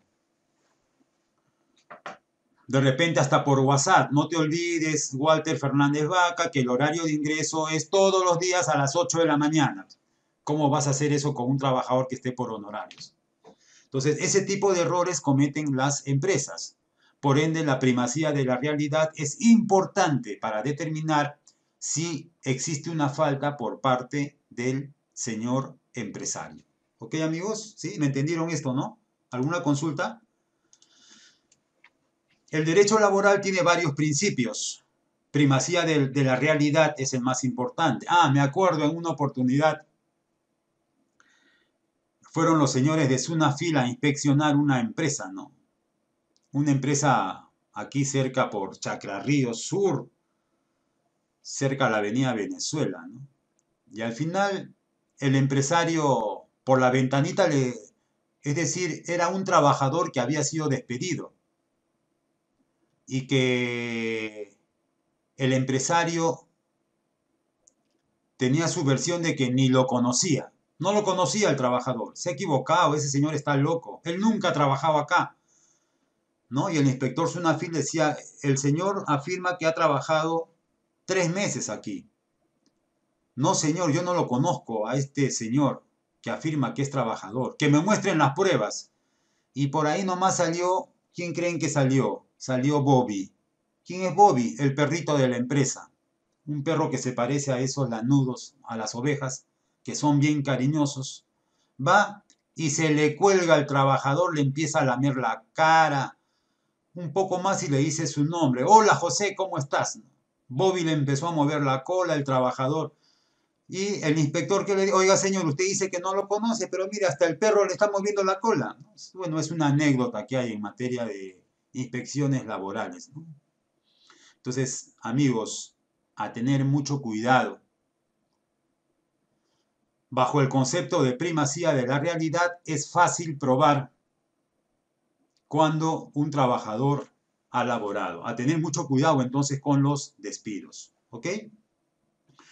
Volviendo acá, causas justas con la capacidad del trabajador, aparte de las deficiencias físicas e intelectuales, rendimiento deficiente, pero esto tengo que probar. ¿Mediante qué documento pruebo que hay rendimiento deficiente, amigos? Se puede utilizar, ¿ah? despido por rendimiento deficiente. ¿Mediante qué documento? ¿Un simple informe? No, para eso los que trabajamos en el área de recursos humanos, ¿qué cosa hacemos constantemente? evaluación al desempeño. ¿Ok, amigos? Si yo tengo que probar que hay un rendimiento deficiente del trabajador y lo comparo con rendimiento promedio, tiene que haber evaluaciones al desempeño. ¿Ok? Bueno, en caso que haya negativa también, injustificar el trabajador a someterse a exámenes. Y otra causa justa del despido es la conducta del trabajador que ya lo conocemos, ¿no? Puede ser falta grave, puede ser por delito doloso o por la propia inhabilitación del trabajador, ¿ok? La falta grave hay que probarla. Aquí existe el principio de razonabilidad y de inmediatez en el derecho laboral, ¿no? Principio de inmediatez, que la sanción tiene que ser inmediata. Pero si voy a, despedir al trabajador después de tres meses, de cometida la falta, no hay principio de inmediatez. Entonces, muchas empresas, estimados amigos, cometen estos errores, ¿no? Por eso es que los trabajadores ahora, la gran mayoría, están ganando las demandas laborales, porque no se asesoran por gente capacitada en el ámbito laboral. ¿Ok, amigos? Seguimos avanzando. Ok, entonces, cese del trabajador, nos tienen que dar una liquidación de beneficios sociales, 48 horas de, luego de 48 horas. ¿no? A veces las empresas demoran más, les reitero, por los motivos de, de, liquidez. ¿no? Hay que esperarles en todo caso. Puede ser cuatro o cinco días, pero la empresa tiene que, tiene que llamar al trabajador. Pero por si acaso, está dentro del derecho del trabajador la liquidación de beneficios sociales, una constancia de trabajo. salvo que, salvo que el trabajador haya cometido una falta grave y haya causado perjuicio a la empresa, eh, la empresa también tiene toda la potestad de no pagarle sus beneficios sociales, de retenerle los beneficios sociales. Pero esto ya tendría que verlo después un juzgado laboral respectivo constancia de trabajo y otros, y otras, y otros certificados. Muy bien, amigos. ¿Alguna pregunta hasta acá? ¿Alguna consulta?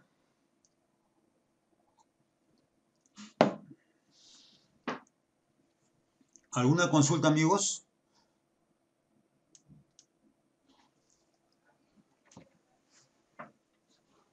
Muy bien, continuamos entonces. Aquí vamos a hacer un recordatorio en el ámbito del COVID, ¿no es cierto? Vamos a conocer la legislación laboral para que ustedes tengan un panorama amplio de lo que podría, de las preguntas que podrían estar en el cuestionario. Me dice Laura, en el caso de las gratificaciones de julio, por el tema de la suspensión perfecta será por los meses laborados. Sí, los señores que están con suspensión perfecta, estimada Laura, van a cobrar gratificación, pero de acuerdo a la proporcionalidad de los meses trabajados. ¿ah? Si solamente trabajaste en enero, febrero, marzo y abril, mayo, junio, julio, te dieron suspensión perfecta, solamente vas a cobrar por enero, febrero y marzo nada más. Como dice Juliana, por la carga efectiva de labores. ¿ah? Los que están en suspensión perfecta no esperen cobrar el 100% de la gratificación, les reitero. Solamente contestándote, Laura, vas a cobrar los meses trabajados. Por ahí que te paguen por los días trabajados también, aunque, hay cierto debate, ¿no? Si pago por 10 días de gratificación, pero la gran mayoría de empresas te pagan por el mes. Pero bueno, ahora sí hay que pedir por los días trabajados, ¿ok? Sí, sí, Iván, en la actualidad estamos cobrando gratificación más el 9% de bonificación. ¿no? ¿Hasta cuándo? Ya es una ley dada por el Congreso. ¿no? ¿Ok? Muy bien. Ok, amigos, ¿alguna otra pregunta? Seguimos avanzando entonces, ¿ya? Seguimos en este viaje tan apasionante, tan apasionante dándoles un panorama laboral a nivel general, ¿ah? ¿no? De lo que es la legislación laboral, seguridad y salud en el trabajo aquí en nuestro país. Recordatorio con enfoque COVID. Aquí vamos a tratar también aspectos de la normativa COVID. Muy bien. Lo primero que tienen que ver, amigos, siempre es, hay, un, hay una síntesis laboral. ¿ah? Eso yo se lo puedo enviar, ¿no? Eh, la síntesis laboral está, es por todos conocidos, está en la página web del Ministerio de Trabajo, ¿no? Síntesis laboral. La última que han sacado es del año 2018. Y ahí está todo un compendio de las normas laborales en nuestro país, ¿no? En el ámbito de relaciones laborales, seguridad y salud en el trabajo. Lo que pasa, estimados amigos, es que en el Perú no tenemos un código laboral, como sí hay en otros países, ¿no? Ustedes deben haber escuchado del Código Penal. Ahí están todos los ilícitos que, comete, que, podría cometer una persona natural, una, una, persona en el ámbito penal, que conduce a una pena, que podría ser una pena privativa de libertad. O el Código Civil, donde tenemos ahí diversas normas en el ámbito de las relaciones entre personas. Pero no existe un código laboral. ¿No? Entonces, si no existe un código laboral, nosotros debemos de sacar de una diversidad de normas y de leyes laborales y empezar a trabajar con eso. Es por eso que el Ministerio de Trabajo siempre, de vez en cuando, seguramente después de esta pandemia COVID, van a sacar una nueva síntesis laboral. Y es necesario que ustedes lo bajen de internet y van a tener la síntesis laboral, un resumen de todas las leyes laborales que hay en nuestro país. ¿Ok? Acá hay una pregunta de Boris. Dice, si se le ha bajado el sueldo al trabajador por el contexto COVID, ¿con qué sueldo se le paga la gratificación? Esa es una pregunta que puede originar un debate, ¿no? Pero se supone que si, si, si, si se le ha bajado el sueldo al trabajador, cosa que para mí es anticonstitucional, ¿no? Porque también hay un principio en el, en el derecho laboral que se llama irrenunciabilidad a los derechos laborales. Yo no puedo renunciar a mis derechos laborales. Es un principio de irrenunciabilidad ¿ah? que está en la misma constitución. Por eso que es, en cualquier momento, alguna, algún abogado, cualquier persona va, va a demandar acción de inconstitucionalidad a esto, ¿no? Entonces aquí la pregunta de Boris es interesante. Si se le ha bajado el sueldo al trabajador por el contexto COVID, ¿con qué sueldo se le paga la gratificación? Se supone que bajar el sueldo al trabajador es un acuerdo que ha habido con el trabajador, con firma, con huella digital. Entonces, si ha sido un acuerdo y el Ministerio de Trabajo están aceptando este acuerdo, la gratificación se le va a pagar de acuerdo con este sueldo que ha sido bajado. Si yo le pagaba 1.500 y después de llegar a un acuerdo le pago 1.000 soles, la gratificación entra con los 1.000 soles. Como les reitero amigos, después de esta pandemia va a haber una oleada de demandas laborales y también de multas porque hay empresas que han abusado en demasía en el ámbito laboral. Y una de ellas es esa. Ahora, no solamente existía la alternativa de bajar sueldos, también existe la alternativa de bajar las horas de trabajo. Entonces, como les vuelvo a reiterar, bajar sueldos, lo más probable es que presenten una acción de inconstitucionalidad. ¿Ok? Entonces, primer recordatorio, no se olviden, hay una síntesis laboral. Segundo recordatorio, contratos de trabajos. Esta es la parte medular de toda inspección laboral. ¿No? los contratos de trabajos. Lo primero que hace los inspectores de SUNAFIL es, quiero, quiero ver los contratos de trabajos, ¿no? Hay diversos contratos que se han desnaturalizado, empresas grandes, ¿ah? bancos, empresas de gran prestigio que tienen a sus trabajadores con contratos totalmente desnaturalizados. ¿En qué consiste la desnaturalización? Cuando el contrato simplemente no procede legalmente. Existen tres tipos de contratos, estimados amigos. ¿No? Miren acá en este cuadrito, tres tipos de contrato. En nuestras empresas vamos a encontrar trabajadores que tienen contrato indefinido, que son los llamados estables, comúnmente, ¿no? O los llamados nombrados.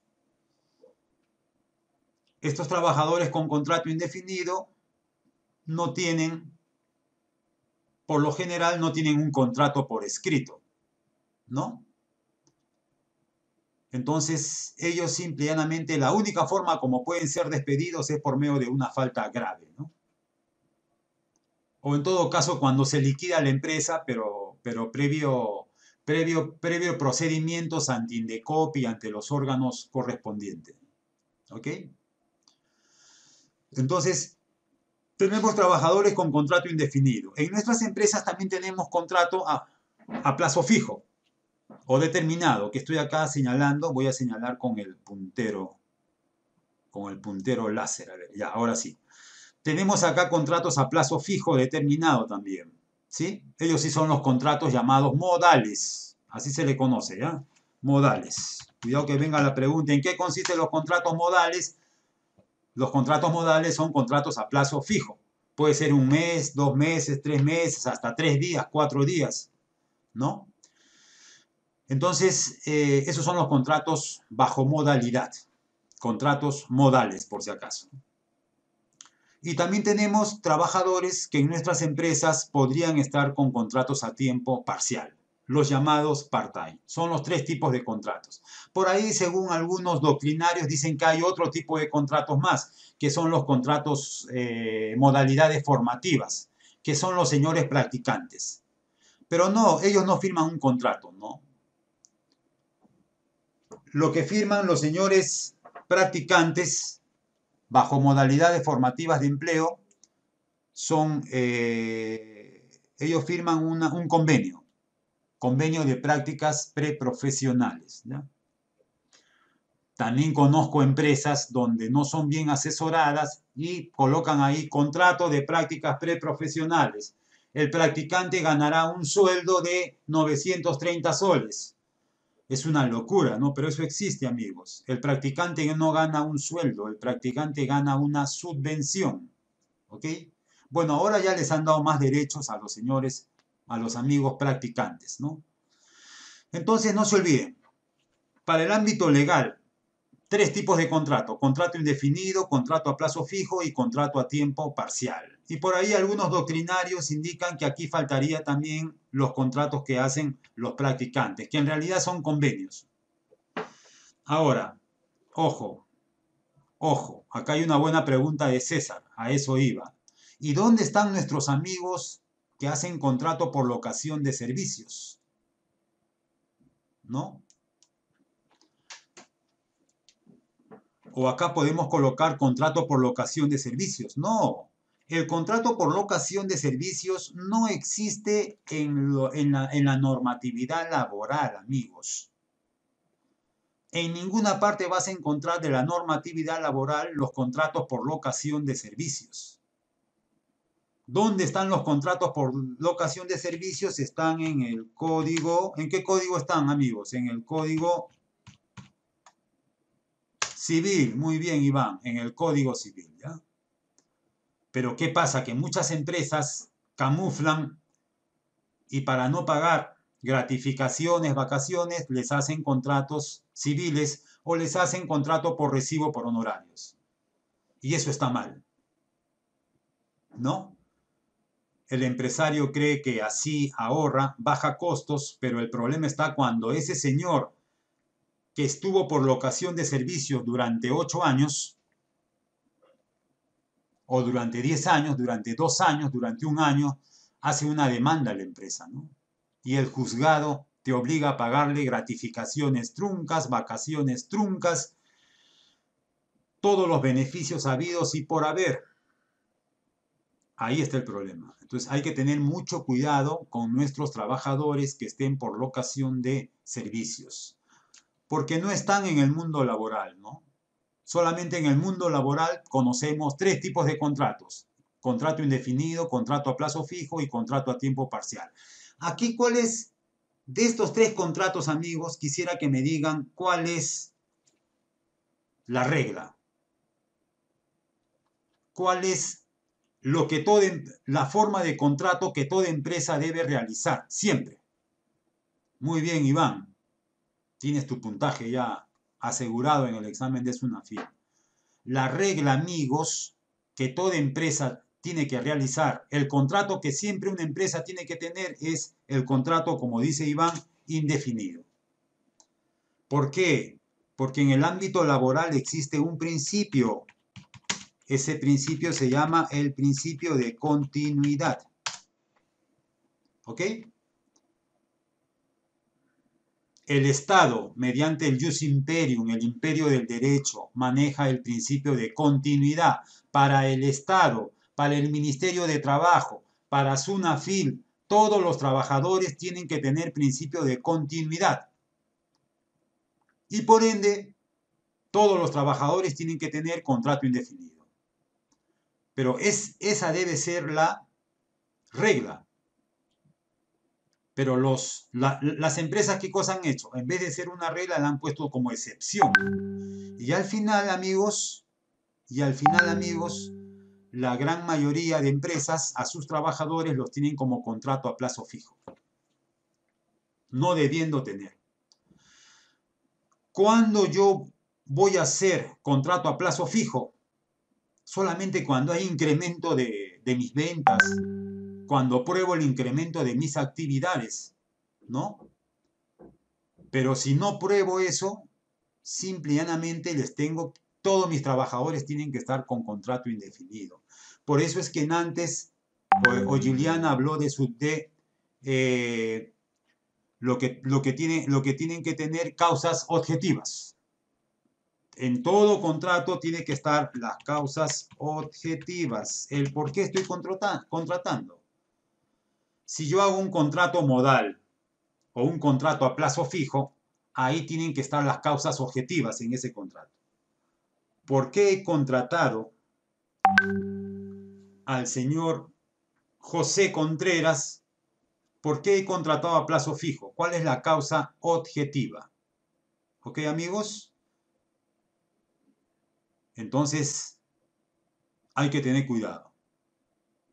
Todo contrato modal o a plazo fijo tiene que tener las causas objetivas. Y esas, cuando vengas una FIL, esas causas objetivas me va a decir que lo pruebe. Por ejemplo, si yo coloco, si yo coloco de que La causa objetiva ha sido que se incrementó el nivel de ventas. Por eso es que tuve que contratar a mayor cantidad de señoritas en recepción. ¿No? Si yo pruebo eso, tiene que ser con los índices de ventas, con el informe respectivo financiero. Si no, simplemente esa señorita va a tener que estar con contrato indefinido, alegando el principio que les comenté, que se llama el principio de continuidad laboral. ¿Ok? Por ejemplo, yo aquí en mi empresa, en Milano Training, tengo mi secretaria, ¿no? La pregunta es, a mi secretaria, ¿puedo hacerle un contrato modal? A ver, contrato modal a plazo fijo ¿A mi secretaria le puedo hacer un contrato modal a plazo fijo? No, no puedo hacerlo. Muy bien, Iván, muy bien, Jacqueline, muy bien, Mónica. No le puedo hacer un contrato a plazo fijo. ¿Por qué? Porque ese puesto de secretaria es permanente. El puesto de trabajo tiene que estar sí o sí. Y durante ocho años ha existido ese puesto de secretaria. Entonces mi secretaria ya tiene contrato indefinido les hago la pregunta. Seguimos con el ejemplo de mi secretaria. ¿Mi secretaria tiene contrato por escrito?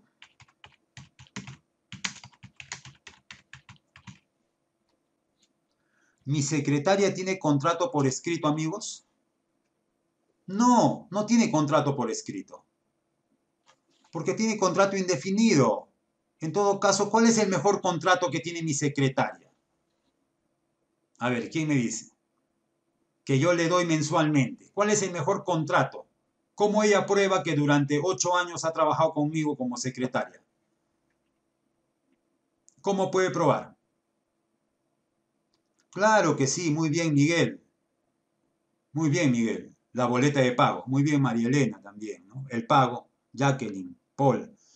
Entonces, los contratos indefinidos no tienen, no tienen por qué. A, a veces cuando yo hago mis clases en la universidad, los alumnos me preguntan, profesor, yo tengo tres años y no me han hecho contrato. Estoy preocupado. Mejor, pues si no te han hecho contrato, quiere decir que ya tienes contrato indefinido, ¿no? Otro por ahí me dice, tengo cinco meses en la empresa y no me han hecho contrato, estoy preocupado.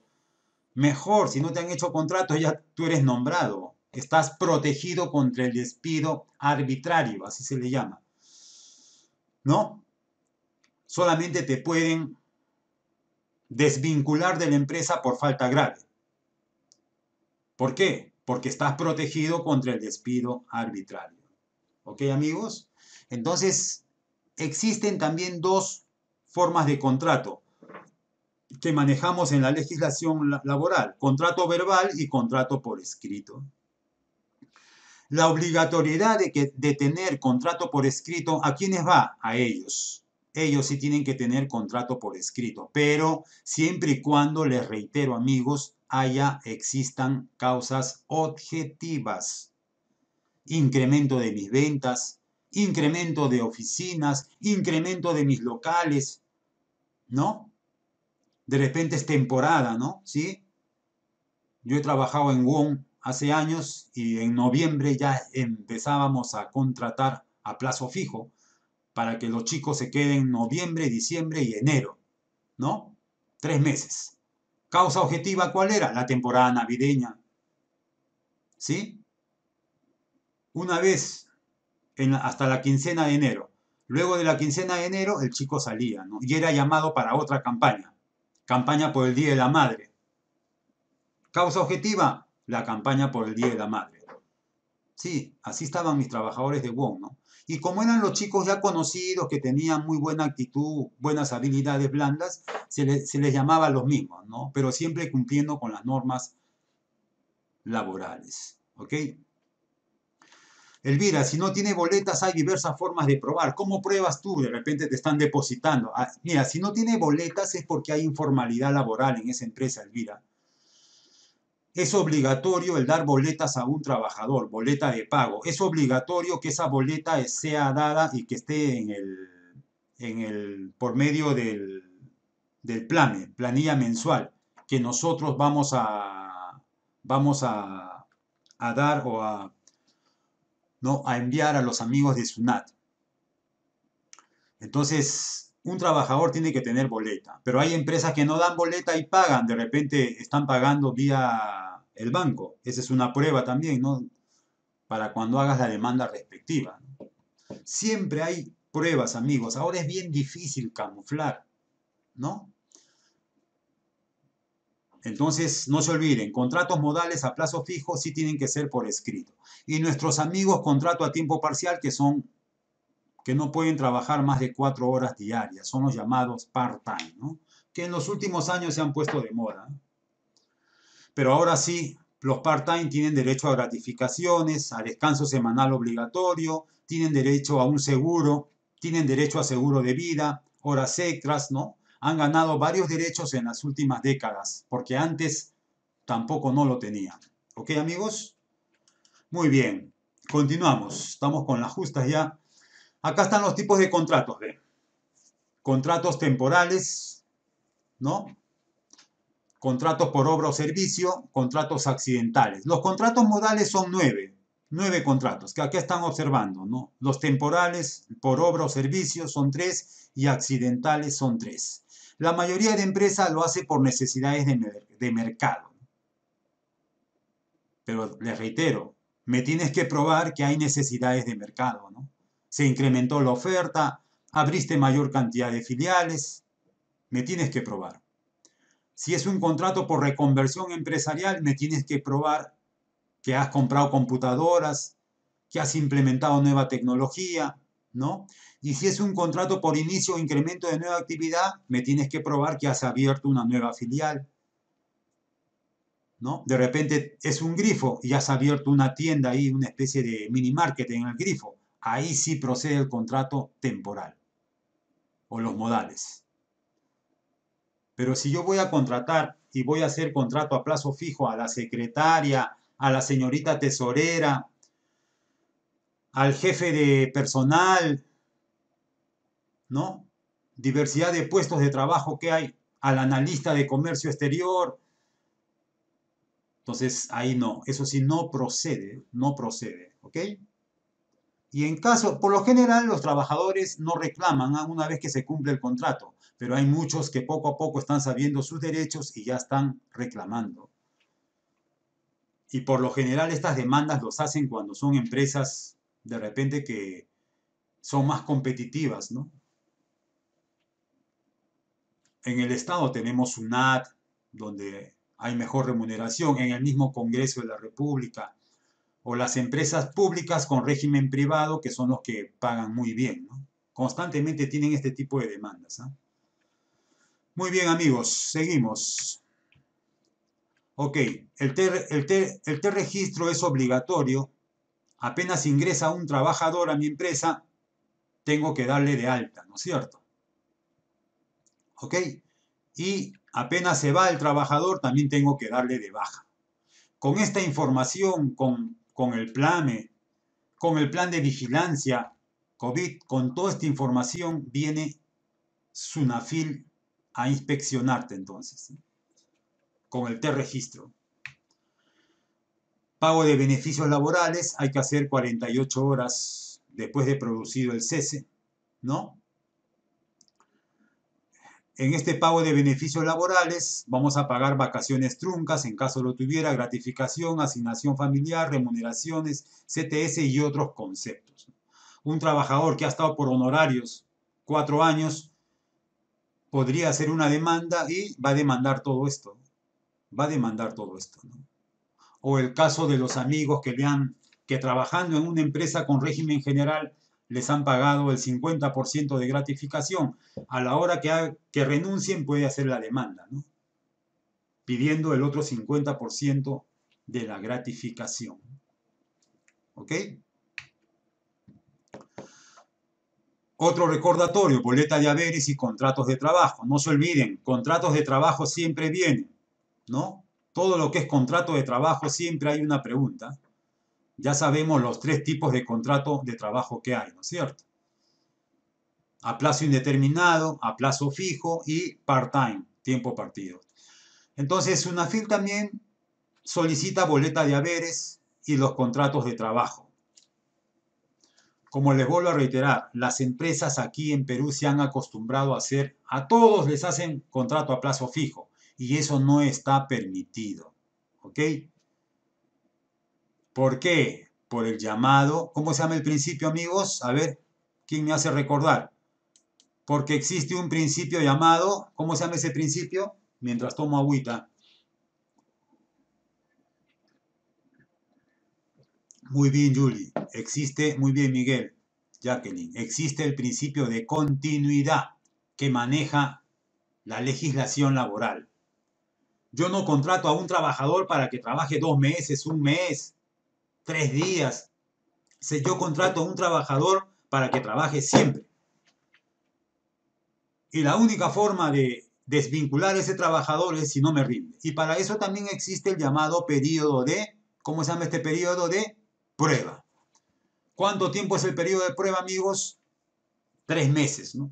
Seis meses, confianza, nueve meses, extraordinariamente. ¿Ok?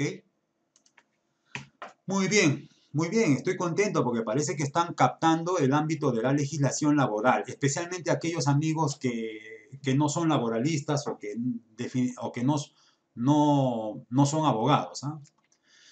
Otro recordatorio que puede venir, ¿en qué consiste el pistoleo? No creo que venga así, ¿no? Pero el pistoleo es la obligatoriedad que tenemos nosotros en las empresas de medirle la temperatura a nuestros trabajadores. ¿ah? Eso está en nuestro plan COVID, por si acaso. Entonces, asistencia, hay que debemos de tener una asistencia a la entrada y a la salida.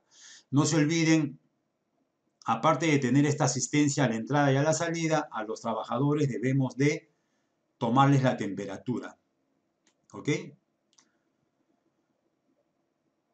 Si es trabajo de alto riesgo, sector construcción, de repente es el sector minero, metal mecánico, trabajo caliente, ¿no? Si son hidrocarburos, si son sectores de alto riesgo, se les pistolea o se les mide la temperatura tres veces, al inicio, durante la jornada y a la salida. ¿Ok? Ojo, el registro de huellas por el momento ha sido eliminado. Si en tu empresa están marcando con huella, no, eso está prohibido por el contagio que pueda haber. Lo que sí está permitido es el registro ocular o en todo caso también hay para registrar la cara. ¿No? ahora ya existen ese tipo de, terminales, ¿no? Una especie de fotografía y sale ahí tu nombre completo, ¿ok? Entonces, la asistencia a la entrada y la salida es obligatorio. Según la 448, esa es una ley, me parece que ha salido hoy día, ¿no, amigo de Coevisa? ¿Sí? ha salido el día de hoy una resolución ministerial donde prácticamente retira la resolución ministerial 239. Tendría que ver eso, no te aseguro, ¿no? Sí, ayer salió, pero el día de hoy ya, ya se tiraron, disculpen la palabra, se tiraron abajo la, la 239, ¿no? Pero igual, seguimos nosotros con el plan de vigilancia, ¿no? Eh, Probablemente, ¿ah? porque era un costo tremendo, amigo de Coevisa, él, ¿eh? era un costo tremendo.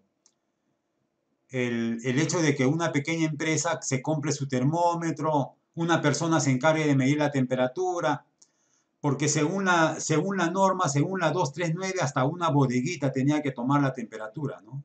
Parece que, parece que en ese aspecto sí lo han, eliminado, ¿no? veremos, esperemos que, sea para bien. Vamos a ver la eliminación de la 239 dentro de un momento, ¿no? Porque ha sido derogado justo el día de hoy.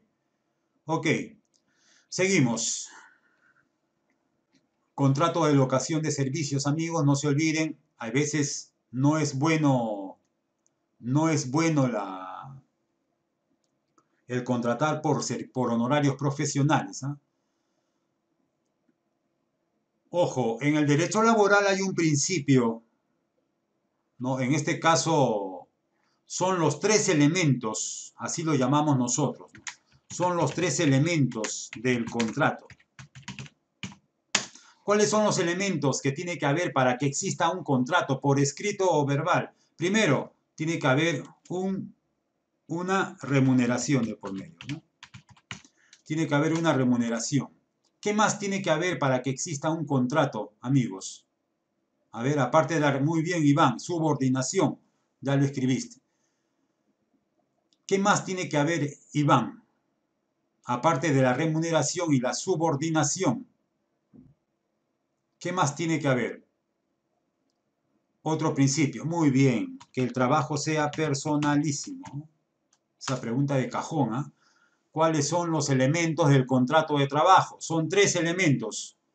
Uno, que, que exista una remuneración. Dos, dos, que sea el trabajo personalísimo. Y tres, que exista subordinación.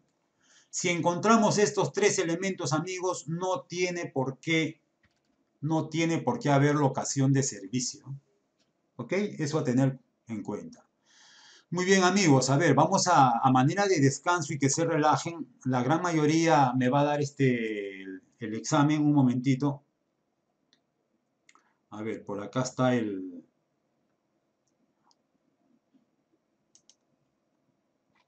Un momentito, por favor. Ya.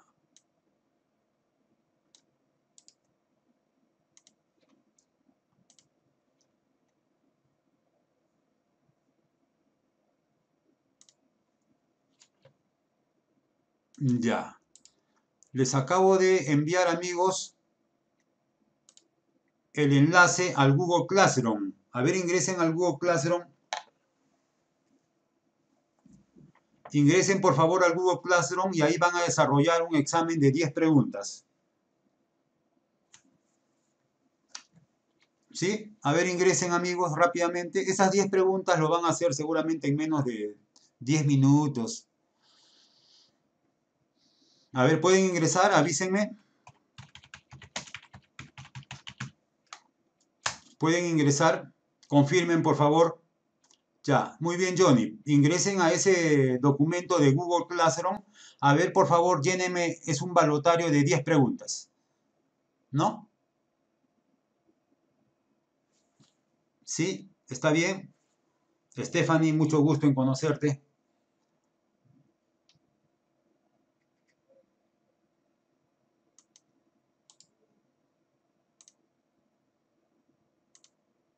Ya. Ok, amigos, a ver, desarrollen su examen. Es para 15 minutos, a pesar que le he puesto media hora, pero yo sé que en 10 minutos, 15 minutos.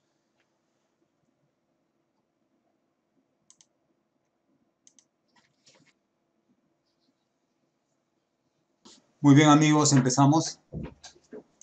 ¿Qué tal? ¿Cómo les pareció? ¿Qué tal el examen? Veo que hay buenas notas, ¿ah? ¿Me escuchan? Sí, doctor, lo escuchamos. Muy bien, empezamos amigos entonces con la segunda parte. ¿Ya? Esperamos acabar a las 9. Ok. Muy bien amigos, empezamos entonces, ¿ya? No se olviden, este, muy bien, les ha gustado el examen. Sí, la, la gran mayoría está entre 15 y 20, entre 16 y 20. ¿Ya? Felicitaciones, ¿ah? Felicitaciones. Pero no voy, a, no voy a hacer público las notas del examen, pero ya saben entonces cuál es el nivel que tienen en el ámbito, de, en el ámbito laboral.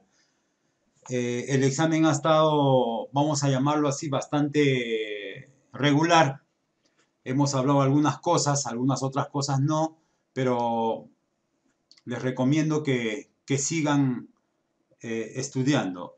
Para el día sábado, para el día sábado acá la señorita me informa que vamos a programar un desarrollo de batería de 60 preguntas, pregunta por pregunta y vamos a hacer el comentario de cada pregunta.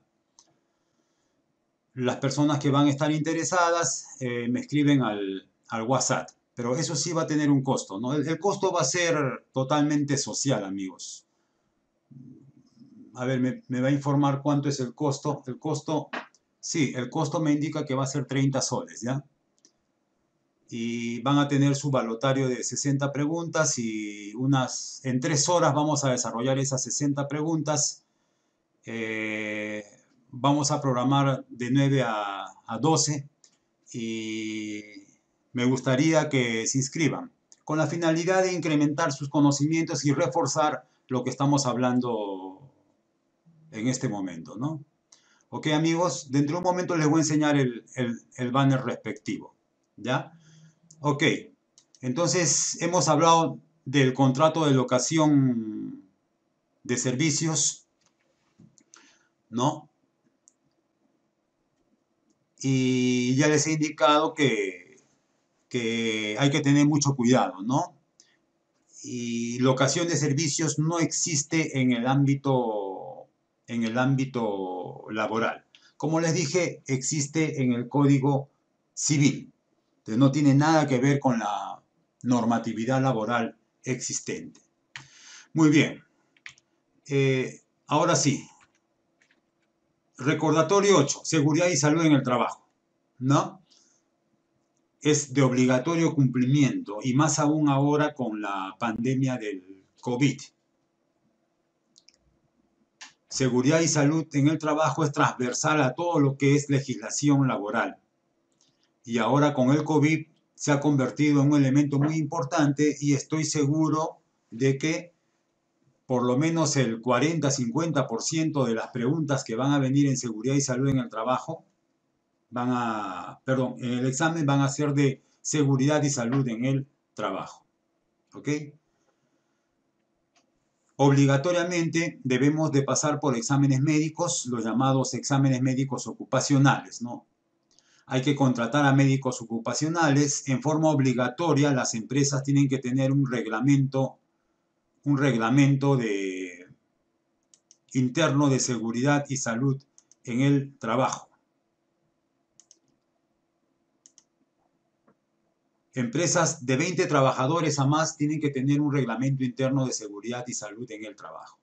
Las empresas que tienen más de 100 trabajadores obligatoriamente tienen que tener un reglamento interno de trabajo. Acá hay una diferencia, ¿no? Entre el reglamento interno de seguridad y salud en el trabajo, ¿ya?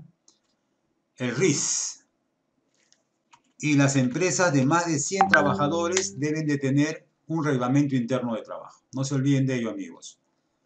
Reitero, Reglamento Interno de Seguridad y Salud en el Trabajo, el RIS, son para empresas mayor a 20 trabajadores. Reglamento Interno de Trabajo es, son para empresas mayor a 100 trabajadores. Pero eso no quepa que una empresa que tenga 40, 50, 20 tenga su reglamento interno de trabajo, ¿no?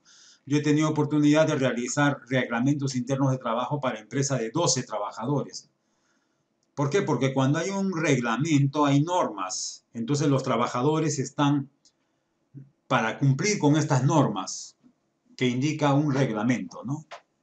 Cosa que así cuando envío un memorándum de llamada de atención, coloco ahí de acuerdo a nuestro reglamento interno de trabajo, artículo 8, inciso 6, inciso B, se le está procediendo a llamar la atención, ¿no? Porque tengo un documento, una norma que me respalda. Pero si en mi empresa no hay ninguna norma, ningún reglamento, entonces va a ser bien difícil llamar la atención, ¿no?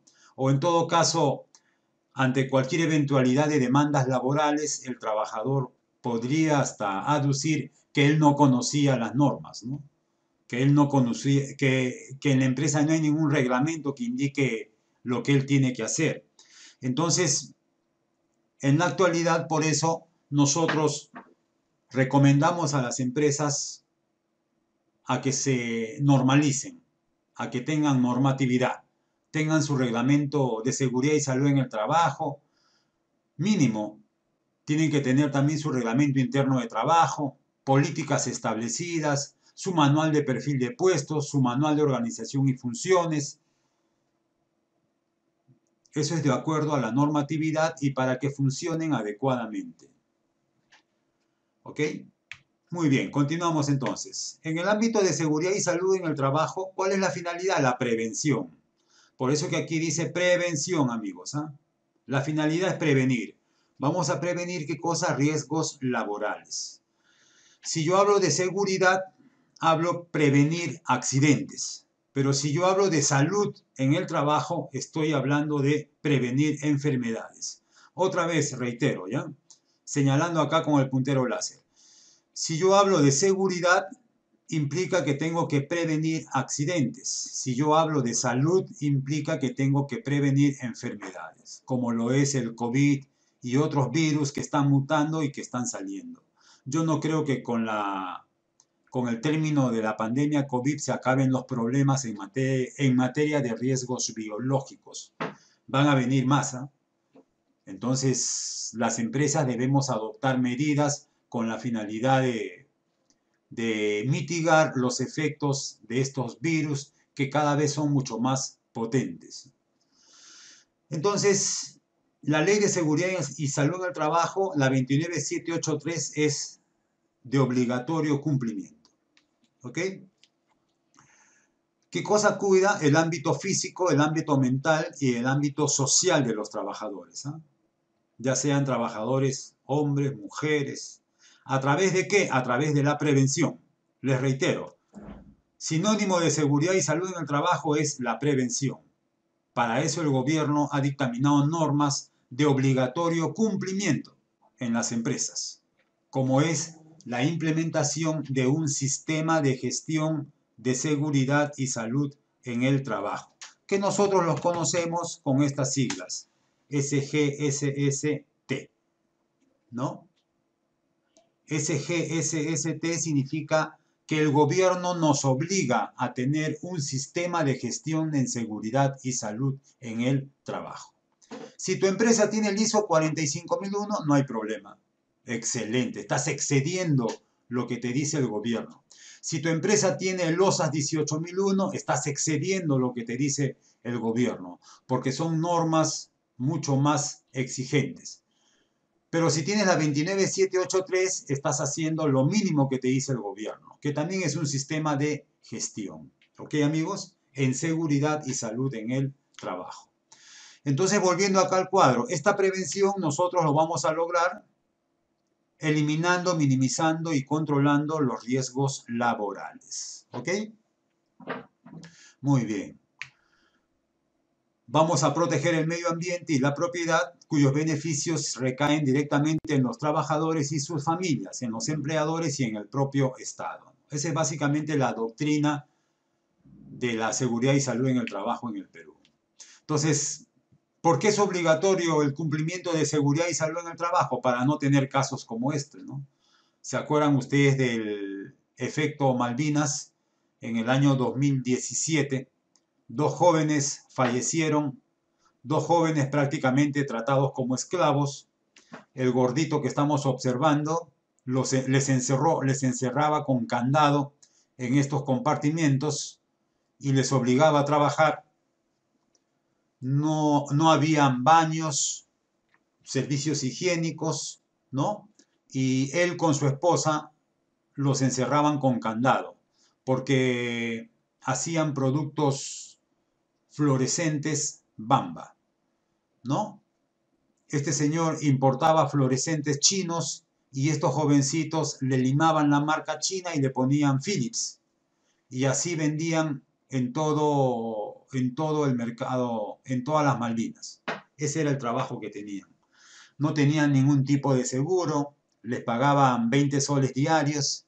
Entonces, un abuso tremendo un incendio en este edificio Nicolini y los jóvenes estaban encerrados en estos compartimentos.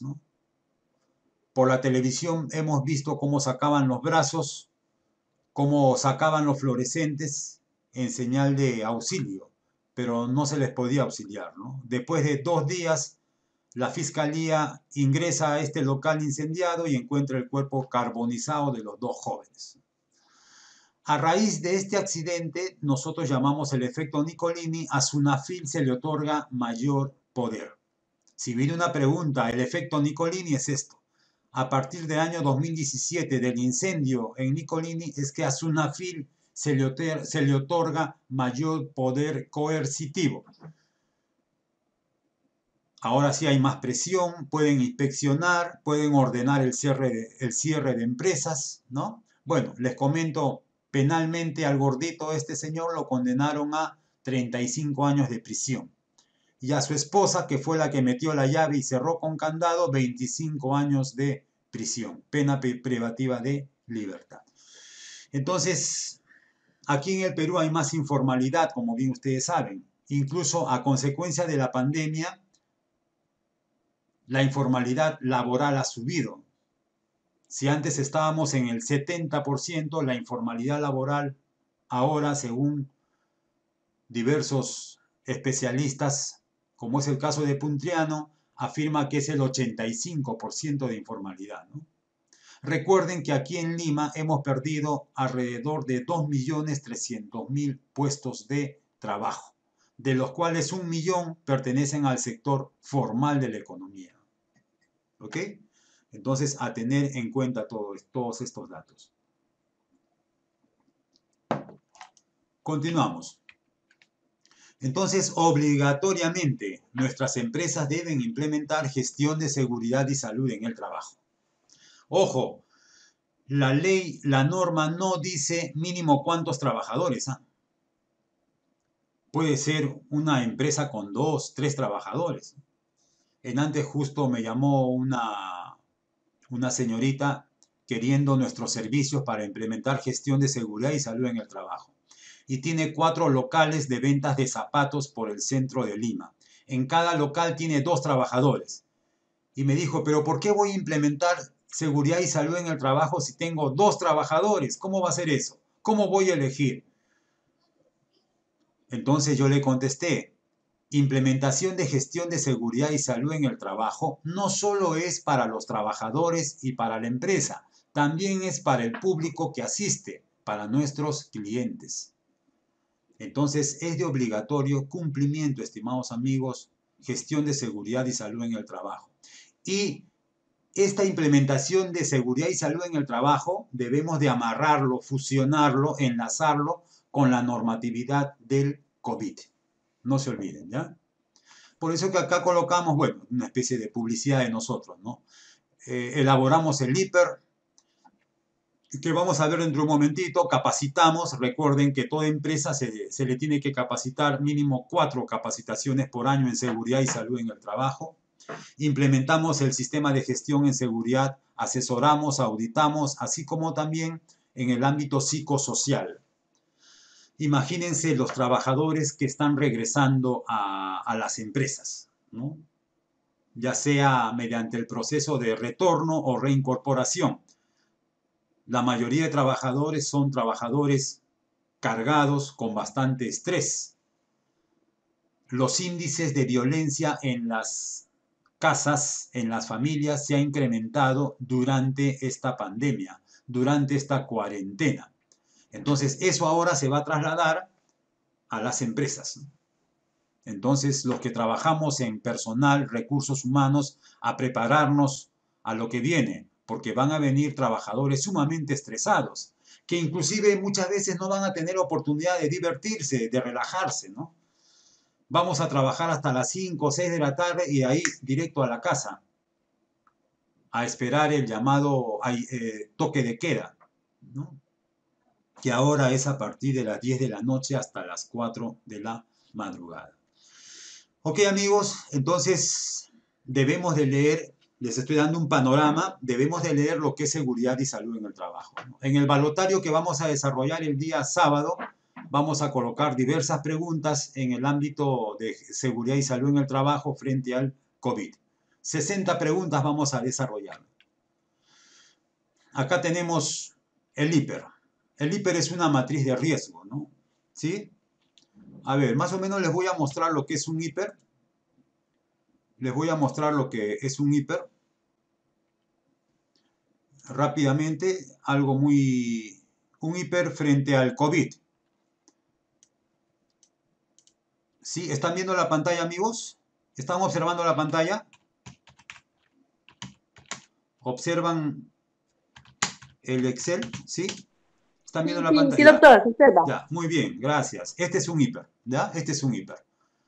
Este es un hiper eh, que trabajamos los especialistas en laboral, seguridad y salud en el trabajo. Los ingenieros también, pero también tienen que estar preparados, ¿no? Hay veces nosotros como especialistas en laboral, seguridad y salud en el trabajo, para hacer un simple hiper requerimos el apoyo de los ingenieros. ¿Quién mejor que ellos saben las medidas, las estructuras, ¿no? Y también solicitamos el apoyo de médicos. Por ejemplo, a- acá tenemos a un señor jefe de almacén, ¿no?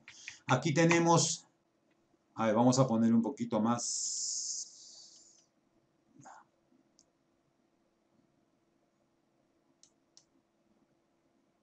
Ya, aquí tenemos a un jefe de almacén, acá tenemos el peligro, cuáles son los riesgos. El peligro es que se contagie del SARS-CoV-2. Recuerden que el SARS-CoV-2 es el virus y la enfermedad se llama COVID-19 o coronavirus. Entonces aquí nosotros debemos de colocar que el jefe de almacén que trabaja en un almacén de una empresa importadora X se puede enfermar, se puede exponer al virus SARS-CoV-2, ¿no? Por contacto directo con personas, agentes pa- patógenos en el aire, suelo o agua.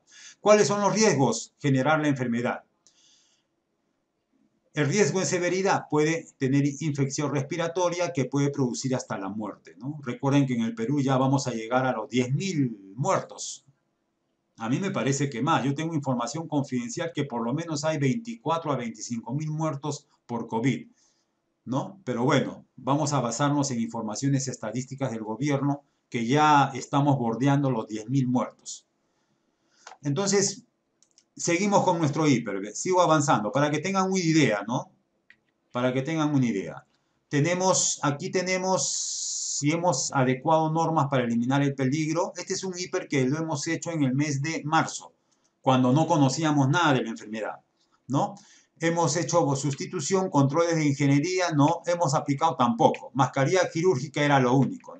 Estos puntajes salen de diversos cuadros que nosotros manejamos, ¿no? que ya cuando hagamos una clase de seguridad y salud en el trabajo les voy a explicar. Acá tiene uno en exposición, tiene tres en el ámbito de capacitación, exposición, índices, al final sale con un 27, no aceptable. No aceptable involucra que es, ah, estamos observando la matriz según la ISO 45001, que se aplica también en empresas peruanas, y si nos sale rojo es que paralizamos el trabajo. Cuando Sunafil va a una obra y hace una matriz CIPER y sale rojo, inmediatamente ellos paralizan la obra. Por lo menos que salga importante para tomar medidas, o que salga amarillo moderado, o que salga verde en todo caso, ¿no? Que es trivial. Al jefe de personal, al jefe de almacén, en el mes de marzo, le salió no aceptable. Entonces había que tomar medidas. ¿Y cuáles fueron esas medidas? Seguimos con nuestro hiper. ¿no? Estas fueron las medidas, ¿no? Controles de ingeniería que hemos aplicado en esta empresa. Hemos aplicado también controles administrativos de acuerdo a los lineamientos del plan de vigilancia COVID dada por el gobierno, que era la que ha sido derogada, la resolución ministerial 239, que continúa, los lineamientos continúan, pero varios artículos han sido der derogados, ¿no? Como antes me dijo un amigo medidas de protección, otra vez le colocamos puntaje, se supone que ahora es uno porque ya están capacitados, se supone que ahora es uno porque ya no hay los riesgos cuando no conocíamos la, la enfermedad, ¿no? Riesgo de exposición 1, índice de exposición 1, índice de, severidad continúa con sus, y sale con puntaje 4, 12. 4 por 3, 12. Entonces nos vamos a nuestra matriz según ISO 45001 y amarillo nos sale moderado. Entonces podemos seguir trabajando. Esas son las medidas de control que hemos tomado. ¿Ok, amigos? Entonces esto es un hiper. ¿Ok? Este es un hiper.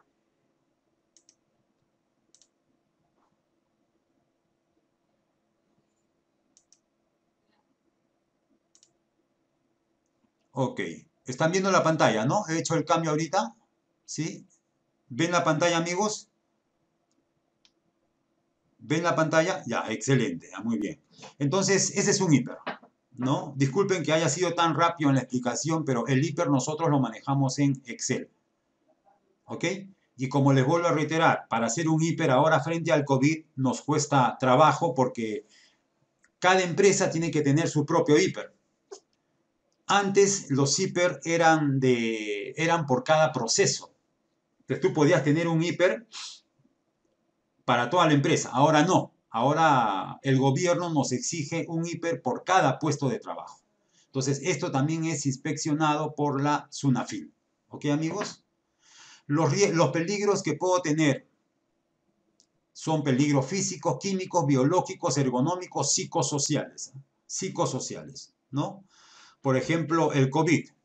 Si hablamos del COVID, ¿qué tipo de peligro sería? A ver, indíqueme qué tipo de peligro sería el COVID, amigos. De estos peligros que estamos observando. Peligro biológico. Muy bien, riesgo biológico. Excelente. ¿Qué más? ¿Qué otro peligro sería, Bianca? El riesgo físico, muy bien, también sería. ¿Qué otro peligro tendríamos si nuestros trabajadores psicosocial? Muy bien. Ok. Entonces, ojo, de un simple virus, donde aparentemente hay, hay riesgo biológico solamente, puede haber peligro físico, ojo, peligro químico, ¿sí? El peligro químico también. ¿ah? ¿Por qué? Porque ahora estamos usando en demasía demasiado alcohol. ¿no? En las zonas populares hay personas que en vez de alcohol se están lavando las manos con lejía y después se frotan los ojos. Eso genera alergia, enfermedades broncopulmonares. El exceso del uso de mascarilla también nos genera problemas bronquiales. En una empresa me llamaron, una empresa que tiene sus oficinas aquí en una buena zona, en el centro empresarial de Javier Prado, y me dijeron que varios trabajadores ah, les había salido manchas rojas. Y fuimos con mi médico ocupacional y ¿qué resultaba? Que la señorita de limpieza, siguiendo la supuesta, la supuesta eh, recomendación de la abuelita o de alguna otra persona, había combinado la lejía con alcohol y le habían dicho que la combinación de la lejía con el alcohol mata más rápido el virus del COVID-19, el virus SARS-CoV-2, y es mucho mejor. Entonces la señorita compró alcohol, compraron alcohol con lejía y eso pasaba por todas las oficinas, las computadoras. No pasó ni dos días enfermedades alérgicas, especialmente en damas, en mujeres. Siete casos de alergia en mujeres y un solo caso de varón es, muy extraño, ¿no? Le pregunté eso a, la doctora, a la médico ocupacional, y dijo, habría que hacer un trabajo de investigación sobre eso, ¿no? Entonces, a tener mucho cuidado, son riesgos químicos que son riesgos, ciérrame la puerta, son riesgos químicos que nosotros estamos muy expuestos. ¿Ok? Muy bien, riesgos psicosociales, como le dije, nuestros trabajadores están cargados de estrés, ¿no? El clima laboral lo más probable es que se dañe, se lastime. Entonces, nosotros como Oficina de Recursos Humanos tenemos que trabajar y lidiar muy fino con esto. ¿no? Pueden ingresar, amigos, eh, al, al canal de YouTube del Grupo Milano y ahí van a tener un, una clase que hicimos en San Marcos, una conferencia en San Marcos acerca de la gestión de recursos humanos ante el COVID, ¿no? Es una invitación que les hago. Es gratuito por si acaso, no está en YouTube. Lo único que le va a costar 30 soles va a ser el desarrollo de 30 preguntas el día sábado, ¿no? Las personas que estén interesadas. Muy bien. ¿Alguna pregunta sobre el ámbito de seguridad y salud en el trabajo, amigos? ¿Alguna consulta? ¿Sí? Avanzamos entonces, ya que estamos con la hora. Ya. Ok, no se olviden que también dentro del panorama en el ámbito laboral, las empresas están en la obligación de eh, tener cuota de trabajadores con discapacidad, ¿ya? Con discapacidad. 50 trabajadores Además, ya están obligados a, a contratar personas con discapacidad al 3%. Se supone que son sectores vulnerables, protegidos, así los llamamos. Si viene una pregunta indicando cuáles son los sectores protegidos por el gobierno en materia laboral, señores con discapacidad, ¿no? Eh, damas en estado de gestación, eh, protección también contra personas, en este caso con VIH, ¿no? Entonces, ellos son trabajadores que están protegidos en nuestras empresas. Bueno, ahora ya personas que también han tenido el contagio del COVID-19, ¿no? Entonces, existe un grupo de trabajadores que tienen protección. Por eso es que cuando en las empresas muchas veces cometen el error de despedir a una dama embarazada, hay que tener mucho cuidado. Y hay que hilar fino si queremos despedir a una dama embarazada o a una dama que está en, haciendo lactancia, a tener mucho cuidado, ¿no? En ese caso, la dama puede, puede, puede abrirnos una demanda tremenda, ¿no? O despedir de repente a un trabajador que está con VIH, uno de los peores errores que hay, ¿no? O despedir a un trabajador que constantemente se enferma y después se logra demostrar, como he visto varios casos, que esa enfermedad es producto de, es considerada una enfermedad ocupacional, producto de su trabajo, como en antes les expliqué del señor con problemas en la columna. Entonces, a tener mucho cuidado, amigos. Hay sectores que son protegidos por el gobierno y ya todo está normado. Ya todo está normado. Los lactarios también es obligatoriedad. Empresas que tienen más de 20 trabajadores, ¿no? Empresas que tienen más de 20 trabajadores obligatoriamente tienen que tener lactario. En edad fértil, pues, ¿no? Se supone que tienen que estar en edad fértil, ¿no? a veces visitamos una agencia del Banco de la Nación y vemos bastantes señoras de, más de 50, 60. He visto hasta señoras que tienen 70, 70, 70 años, ¿no?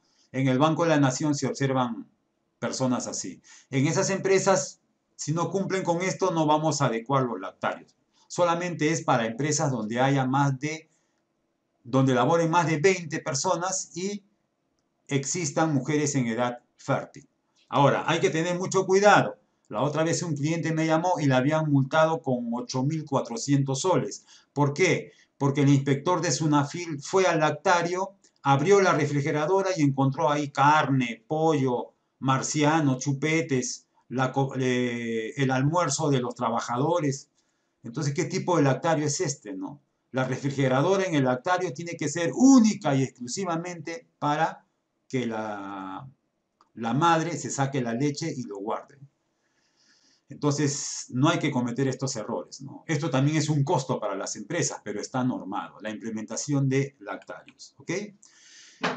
Esto, lo más probable es que venga una pregunta también, ¿no? También hay normatividad sobre el acoso sexual en lo laboral. Aquí en el Perú es toda una pandemia, ¿no? Diversas trabajadoras, especialmente damas, aunque también conozco el, el caso de trabajadores varones, ¿no? Que han tenido acoso sexual por otro varón.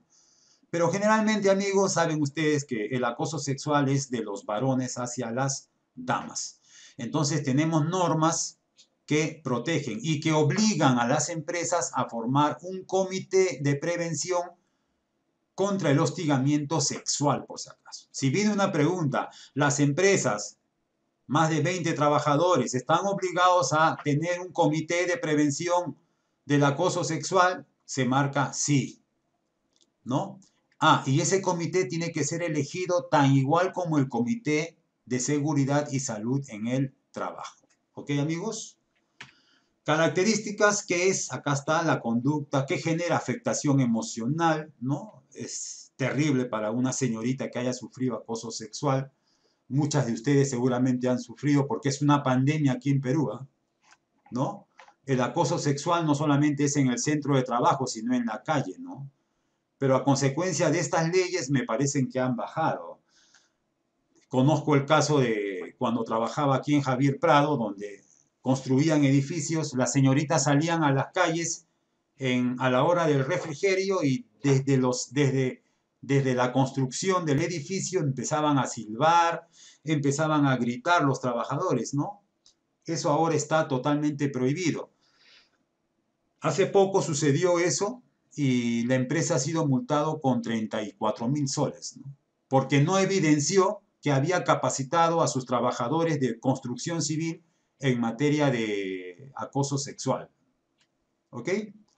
Entonces, ¿qué debemos hacer? En este caso, la costumbre nos dice que si una señorita tiene un acoso sexual laboral, tiene que presentar un documento a la Oficina de Recursos Humanos, ¿no? Pero ¿qué sucedería si es que es el jefe de personal el que lo está acosando? Entonces ahí sí tiene que ir a un órgano que está más arriba, que en este caso puede ser el gerente, el gerente general, ¿no? Porque también se da, conozco el caso de una profesora, el que lo acosaba era el director del colegio. Entonces, ¿cómo va a ir a la dirección? Entonces ahí de frente se fue a, al, a Sunafil, se fue incluso hasta la comisaría, ¿no? Incluso hasta el Ministerio de la Mujer, tranquilamente. Paralelamente a la vía administrativa que siga la señorita o la señora que está siendo acosada. Hay un número de teléfono acá que es especialmente para este ámbito, ¿no? ¿Ok? Entonces, 90% que puede venir una pregunta relacionada con el acoso. A leer entonces, a informarse más. ¿Ok, amigos? Implementación de ley de igualdad salarial. Esto también es de obligatorio cumplimiento en las empresas. Muchos estarán pensando, me obligan a seguridad de salud en el trabajo, me obligan a lo que es prevención acoso sexual, me obligan a implementar ley de igualdad salarial. Así es, amigos, así es. Pero toda esta obligatoriedad tiene también una causa, ¿no? Es que, que el Perú ha firmado convenios con la Organización Internacional del Trabajo. Y como ha firmado convenios, tiene que cumplir. Y más aún que el Perú desea formar parte de la OCDE, es el organismo Colaboración Desarrollo Económico, ¿no? Es una especie de club de países más avanzados y más industrializados del mundo entero, la OCDE. Entonces, la OCDE no quiere tener al Perú como integrante. El Perú se muere por estar en ese club, pero la OCDE no quiere. Lo que le ha dicho el organismo de, colaboración y de, desarrollo económico es que solucione todos los problemas laborales que tiene el Perú. En seguridad y salud en el trabajo, en la discriminación salarial. Por eso es que en, los últimos años se, han estado dictando una diversidad de normas ¿no? Que ya han sido dictados en otros países. ¿Ok, amigos? ¿En qué consiste la ley de igualdad salarial? ¿No? Básicamente son estas siete variables que estoy acá señalando, ¿ya? Que vamos a ir viendo. Son siete variables. Las empresas, de acuerdo a la ley de igualdad salarial, 30709, la ley, tienen que implementar las áreas de gestión humana. Por eso es que Prácticamente, amigos, el gobierno nos obliga, obliga a las empresas a tener prácticas en recursos humanos. ¿Ok? Ya la oficina de personal dejó de ser controlista y planillera, ¿no? Ya no. Ahora las oficinas de recursos humanos, gestión del talento humano, gestión de personas, como lo quieran llamar, están en obligación de implementar las normas que les estoy explicando en las anteriores diapositivas y también en esta. ¿Qué cosa tienen que implementar? Tienen que implementar políticas, cuadro de categorías y funciones. Tiene que tener un manual de organización o funciones o un manual de perfil de puestos de trabajo, ¿no?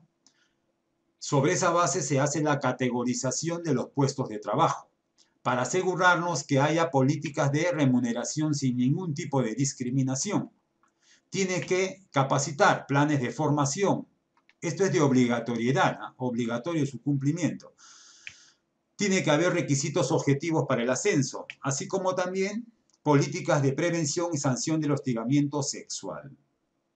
Y también debemos de tener evidencias que estamos protegiendo a las damas embarazadas y a las damas que están en lactancia. ¿Ok, amigos? Entonces, estos siete componentes debemos de tener nosotros por escrito. Los señores de Sunafil van e inspeccionan este ámbito. ¿Cuáles son los componentes de control que revisan los señores de Sunafil? manual, manuales, manuales de perfil de puestos, escalas salariales, plan de capacitación, evaluaciones al desempeño, políticas de línea ética, etcétera, etcétera, etcétera. Este trabajo también lo hacemos nosotros como consultora Milano Training del Perú. El problema está que en las empresas a veces no hay tiempo para implementar seguridad y salud, no hay tiempo para implementar comité de gestión en prevención de acoso sexual, no hay tiempo para implementar todos estos cuadros. Entonces nosotros como consultores entramos ahí a trabajar. ¿no? ¿Ok? Muy bien. Entonces todo esto tiene que ser parte de un plan de comunicación y todo esto es fiscalizado por quién? Por nuestros amigos y posibles compañeros de trabajo de SUNAFI. ¿Ok? En eso consiste la ley de igualdad salarial. ¿Alguna pregunta, amigos? ¿Alguna consulta? Ok, recordatorio. 13. Puede venir otra pregunta, ¿no? Trabajadores extranjeros, que se ha puesto muy de moda a consecuencia de la inmigración que ha habido en el ámbito de, nuestros amigos venezolanos. Por ahí hay más de un millón de venezolanos ¿no?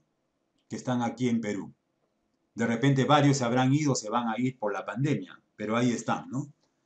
Entonces hay que tener mucho cuidado, tienen que tener todo, todo, todo extranjero, todo señor venezolano tiene que tener su, su PTP, su permiso temporal, ¿no? Tiene que tener sus documentos en regla, porque ya hay protocolos. Sunafil para todo ha hecho protocolos. Y ha hecho protocolos también para la contratación de trabajadores extranjeros. Si por ahí Sunafil recibe la denuncia de que hay venezolanas en el restaurante tal, Sunafil puede ir y exigir la documentación de los, de los señores venezolanos, ¿no? ¿Ok, amigos? Va a exigir su contrato de trabajo, que no exista discriminación, porque ellos están protegidos. Ese es por un mandato de las mismas Naciones Unidas, que aquí se han debido hacer leyes enmarcadas exclusivamente en el ámbito de trabajadores extranjeros, exclusivamente en el caso de nuestros amigos venezolanos que hay, que hay bastantes aquí en Perú. Suspensión perfecta, amigos, ¿no? Podría venir también. ¿Qué es la suspensión perfecta? La suspensión perfecta simplemente tú no trabajas y no te pagan. Pero no es despido, ¿ah? La suspensión perfecta, su mismo nombre lo dice, ¿no es cierto? Suspensión perfecta. Se suspende mientras dure el estado de emergencia sanitaria las labores de mi trabajador. ¿Ok? Mientras dure la suspensión perfecta, yo le voy a pagar, no se le paga. Y también, ojo, no se le toman los, los beneficios sociales, ¿no? no se le calcula vacaciones, gratificaciones. ¿ah? ¿Ok?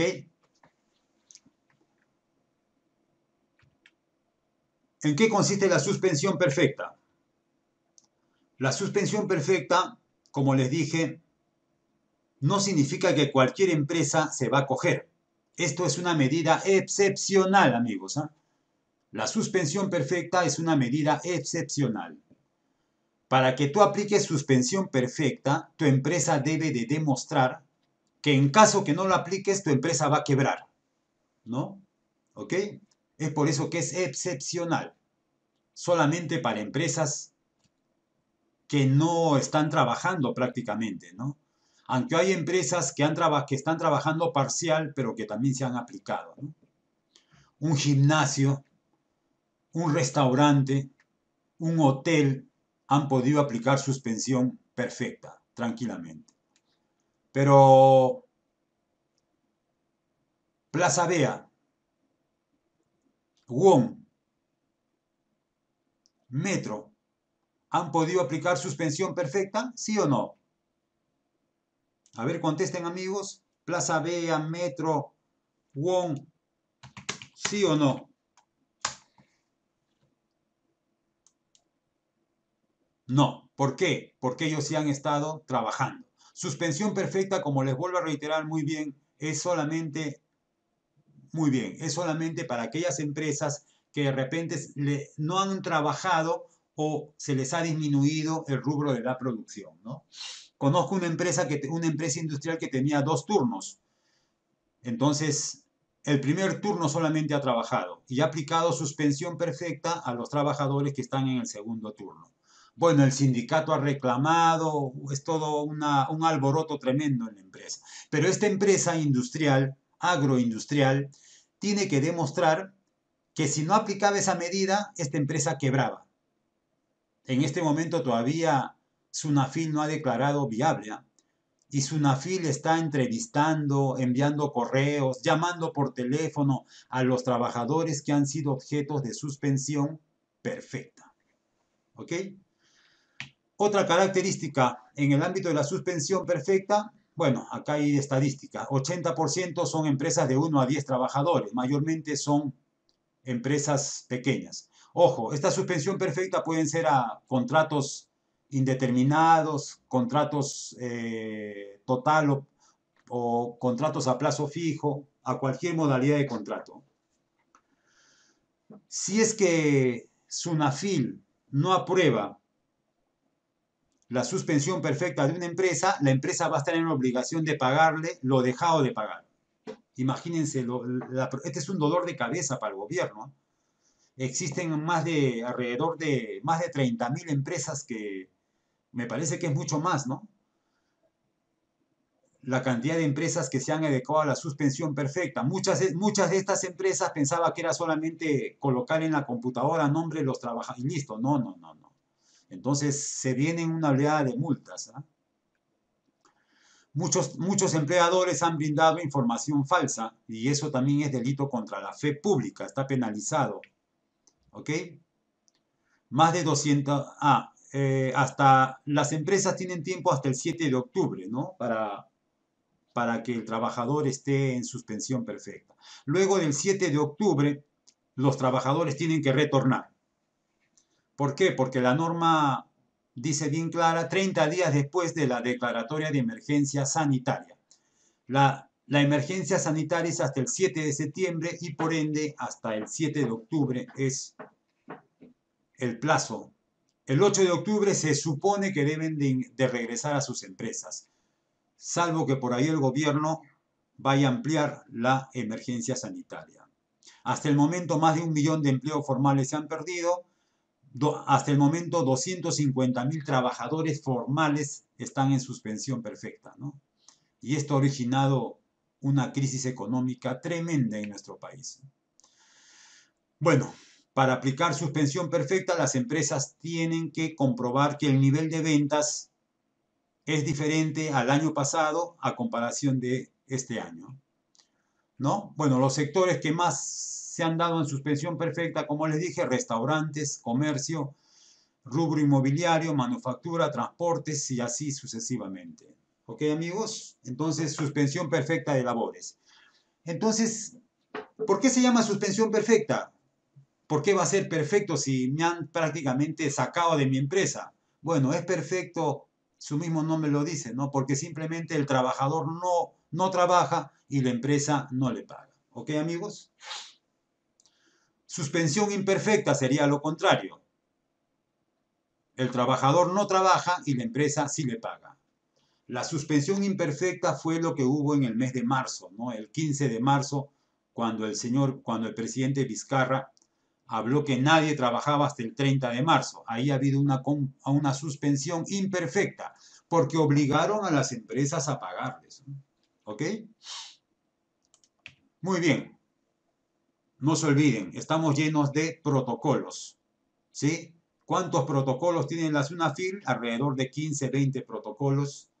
¿no? Y debemos de ojear, debemos de observar la cantidad de protocolos. Por lo menos saber cuáles son los protocolos que existen y que maneja SUNAFIL cuando va a inspeccionar una empresa. Si por ahí me llama un cliente y me dice, ha venido SUNAFIL y me están inspeccionando en trabajadores extranjeros, yo como consultor tengo que leer los protocolos de trabajadores extranjeros. Porque sobre esa base va a ser la inspección por SUNAFIL. ¿no? Acá miren, dice protocolo sobre el ejercicio de la inspección dentro del marco de la declaratoria de emergencia sanitaria. ¿Ok? Rápidamente, ¿cuáles son los protocolos donde va a priorizar SUNAFIL? Despidos arbitrarios, va a verificar. Trabajo remoto, ojo, ¿no? Trabajo remoto, no puedo hacer a, a señores que estén enfermos del COVID ni tampoco a trabajadores que estén con descanso médico. Trabajo remoto puedo, puedo dar a trabajadores que sean vulnerables, siempre y cuando puedan hacerlo, ¿no? De repente tengo un trabajador diabético, pero que no, no es capaz de repente de usar la, la computadora. Entonces a él no le voy a dar trabajo remoto. Entonces, prohibido terminantemente dar trabajos remotos a trabajadores que tienen descanso médico. Peor aún si, se han enfermado de COVID. ¿Ok? Entonces todo eso va a inspeccionar y todo eso ya está con protocolo. ¿Qué más va a inspeccionar SUNAFIL dentro de el protocolo COVID-19? El aforo. Recuerden que el aforo es 50%, probabilidades de riesgo, ¿no? ¿Qué más copias de documentos que te va a solicitar SUNAFIL? Copia del PDT, del PLANE, cargos de entrega de constancia alta baja, de registro, el registro control de asistencia, con medidas de temperatura incluido, ¿no? Los trabajadores que tengan locación de servicios, los contratos sujetos a modalidad, que hemos visto que no es tan simple hacerlo, porque tiene que tener causas objetivas no solo en el papel, sino en el ámbito de la realidad. Registro de entrega de equipos de seguridad o emergencia también, que están dentro del plan de vigilancia COVID. Entonces, los puntos a considerar, ¿cuáles son, amigos? Los inspectores tienen que estar acreditados. De repente el equipo inspectivo puede acompañar de la PNP, de la Fiscalía, en este momento no hay comparecencia, pero sí hay presentación de informes, ¿no? O comparecencias virtuales. Y inspectores pueden adoptar medidas de advertencia, pueden paralizar o prohibir. Ok, amigos, recordatorio 16, el plan de prevención COVID-19. Ojo, esto es lo que ha sido derogado, la 239, ¿no? Pero no ha cambiado el plan, habrá cambiado las formas pero no el fondo del asunto. ¿no? Todavía están exigiéndonos el plan de vigilancia, prevención y control del COVID-19. Les soy sincero, todavía no he leído la ley en su totalidad, tengo que analizarlo, pero por ahí ya más o menos el plan de vigilancia me parece que hay que presentarlo vía correo. El problema, y ustedes lo saben muy bien, es que ha habido una serie de, de situaciones para colgar nuestros planes de vigilancia en el MINSA. Constantemente la máquina se colgaba. Nos hemos dado cuenta que el sistema informático del gobierno es pésimo en todo aspecto, ¿no? Y esto va de la mano con la contratación de personal eficiente. Parece que han contratado a cualquier ingeniero de sistemas en el gobierno y esto ha hecho que prácticamente el sistema informático del gobierno sea una desgracia en estas épocas de COVID. Entonces, Sensopaz, Minsa no está ajeno a esto, ¿no? Y es por eso que el gobierno constantemente ha estado dando resoluciones. El día de hoy se ha, barrido la resolución ministerial 239 y ha creado otra, ¿no? ¿Ok? Este es el, estas son las características del plan de vigilancia. Ah, para, para entrar acá, se ha derogado el día de hoy, ayer, la resolución ministerial 239 y existe ahora la 448. ¿No? ¿Ok? Que hay que leer también, hay que leer. Pero de todas maneras no se pierde el espíritu de la norma, ¿no? Y continuamos, el gobierno, SUNAFIL, sigue exigiendo el plan de vigilancia, prevención y control del COVID-19 en el trabajo. ¿Ok, amigos? ¿Qué contiene el plan de vigilancia? Rápidamente contiene eh, el riesgo, pruebas rápidas a nuestros trabajadores, especialmente que, que tienen riesgo medio para arriba. Si la empresa desea aplicar a todos los trabajadores, así tenga riesgo bajo, mejor. Pero lo mínimo que te exige el gobierno es aplicar a los trabajadores de riesgo medio hacia arriba. Control de temperatura corporal al ingreso del trabajador, que antes me informaron que menos de 20 trabajadores ahora no va a estar este, normado.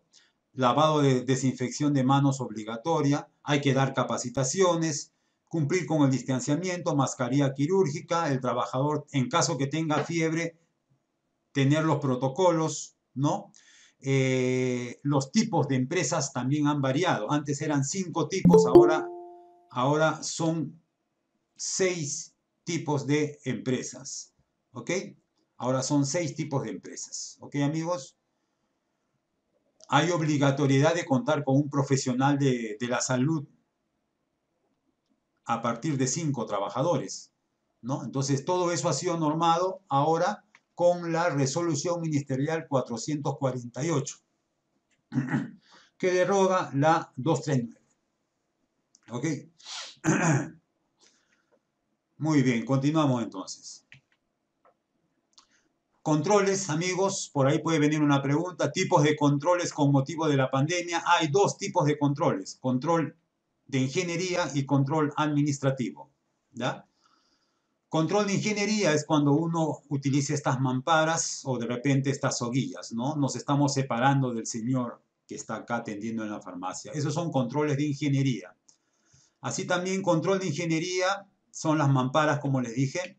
Control de ingeniería, el uso de estas, estos felpudos que traen lejía. Control de ingeniería, ah, hay que tener mucho cuidado ¿Por qué? Porque el COVID puede entrar a nuestras casas y a nuestros trabajos con los zapatos, las suelas de los zapatos. Este es un control de ingeniería, medición de temperatura. Este señor gordito se le mide la temperatura y también aquí se le da su gel desinfectante. ¿Ok? Ahora me parece que esta última resolución ha aumentado a 38, porque la norma decía 37.5, pero varios médicos están de acuerdo con que sea mejor 38 grados. O perdón, 37.5 grados de temperatura corporal, ¿no? Esto es lo más común, aunque no es seguro. Hay varias críticas con este pistoleo. ¿ah? No es seguro. El trabajador puede venir corriendo a, a marcar la asistencia y, se, y le pasa si puede generar más temperatura de lo que tiene. ¿no? Y también existen este tipo de controles que seguramente los centros comerciales ya están aplicando aquí en nuestro país. El la galería Centro Comercial de Santa Anita ya lo tiene. ¿no? A cada uno pistolea una cámara y observa la temperatura de cada persona. Esto ha sido aplicado en países del primer mundo con muy buen éxito, ¿no? especialmente en Corea, en China. ¿Ok? ¿Qué es un control administrativo? el cambio de horarios, ¿no? Hace poco hemos ido a hacer una auditoría en, por Cañete, Pisco, y observamos que hay como 200 trabajadores en un solo turno y los 200 salen a almorzar a la, a la una de la, de la tarde. No puede ser. No, no es así. ¿Cómo van a salir los 200? Entonces lo que hemos hecho es dividir, ¿no? De 12 a 1 un grupo y de 1 a 2 otro grupo. Ese es un control administrativo, ¿ya? Control administrativo también es, el trabajo remoto. Diferencia entre el trabajo remoto y el trabajo a distancia puede, puede ser una pregunta, ¿no? El trabajo remoto es cuando uno trabaja desde su casa el trabajo a distancia o teletrabajo, no necesariamente puedes estar en tu casa, puedes estar en otro lugar. Hay que tener mucho cuidado. ¿ah? El hecho que estés en trabajo remoto y brindes reportes a través del Zoom o a través del Google Meet que nosotros usamos, no es que tú vayas a estar en ropa interior, no, no, no, no. Todavía continúa siendo subordinado, ¿no? En legislación laboral tenemos el principio de subordinación. Entonces, si la empresa nos está pagando, así trabajemos desde nuestra habitación, desde nuestra casa, no significa que yo, echado en la cama, voy a hacer el informe porque estoy en trabajo remoto. Nos pueden sancionar por eso. El trabajo remoto involucra que uno va a estar bien peinado, ¿no? Con su camisa, con su corbatita, pero no hay que exagerar ese ámbito, ¿no? Pueden haber también llamadas de atención por eso. Muy bien, amigos. Ok, entonces por ahí los que, las personas que deseen certificado de esta capacitación, ¿no? Va a haber un precio sumamente social, les podemos dar certificación por 5 horas, aparte de los materiales que vamos a enviarle, el PowerPoint, la diapositiva, aparte del balotario desarrollado de las 10 preguntas que ustedes han contestado, ¿no? Bueno, las personas que deseen la certificación de, de nuestra maratónica sesión del día de hoy, se les va a cobrar por tratarse de ustedes que ya son amigos de Milano Training, solamente 20 soles, ¿ya?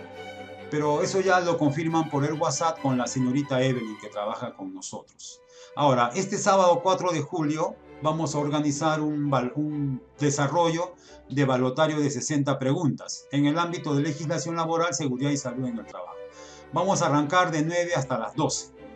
Las 60 preguntas. Si de repente nos pasamos el tiempo como es ahora, no hay ningún problema, ¿no? En este momento estamos acabando prácticamente a las 9, 9 y 22. Pero yo estoy seguro que especialmente los amigos que no, que no han estudiado derecho específicamente, o incluso aquellos abogados, pero que no son laboralistas. ¿ah? ¿no? Yo estoy seguro que el día de hoy ha sido una, una buena faena y hemos aprendido acerca de un, un panorama amplio de lo que es la legislación laboral en nuestro país. ¿Ok? Entonces les invito el día sábado, amigos, ¿no? Y para, para, vamos a tener nuestro desarrollo de cuestionario balotario de 60 preguntas. Por acá también vamos a, de esta semana a la otra, vamos a iniciar un curso de actualización en recursos humanos que también es válido para SUNAFI. ¿Ok amigos? Muy bien, ha sido un gusto estar con, con ustedes, ¿no? Eh, un abrazo, la mejor de las suertes. Espero que no sea la última vez que nos veamos.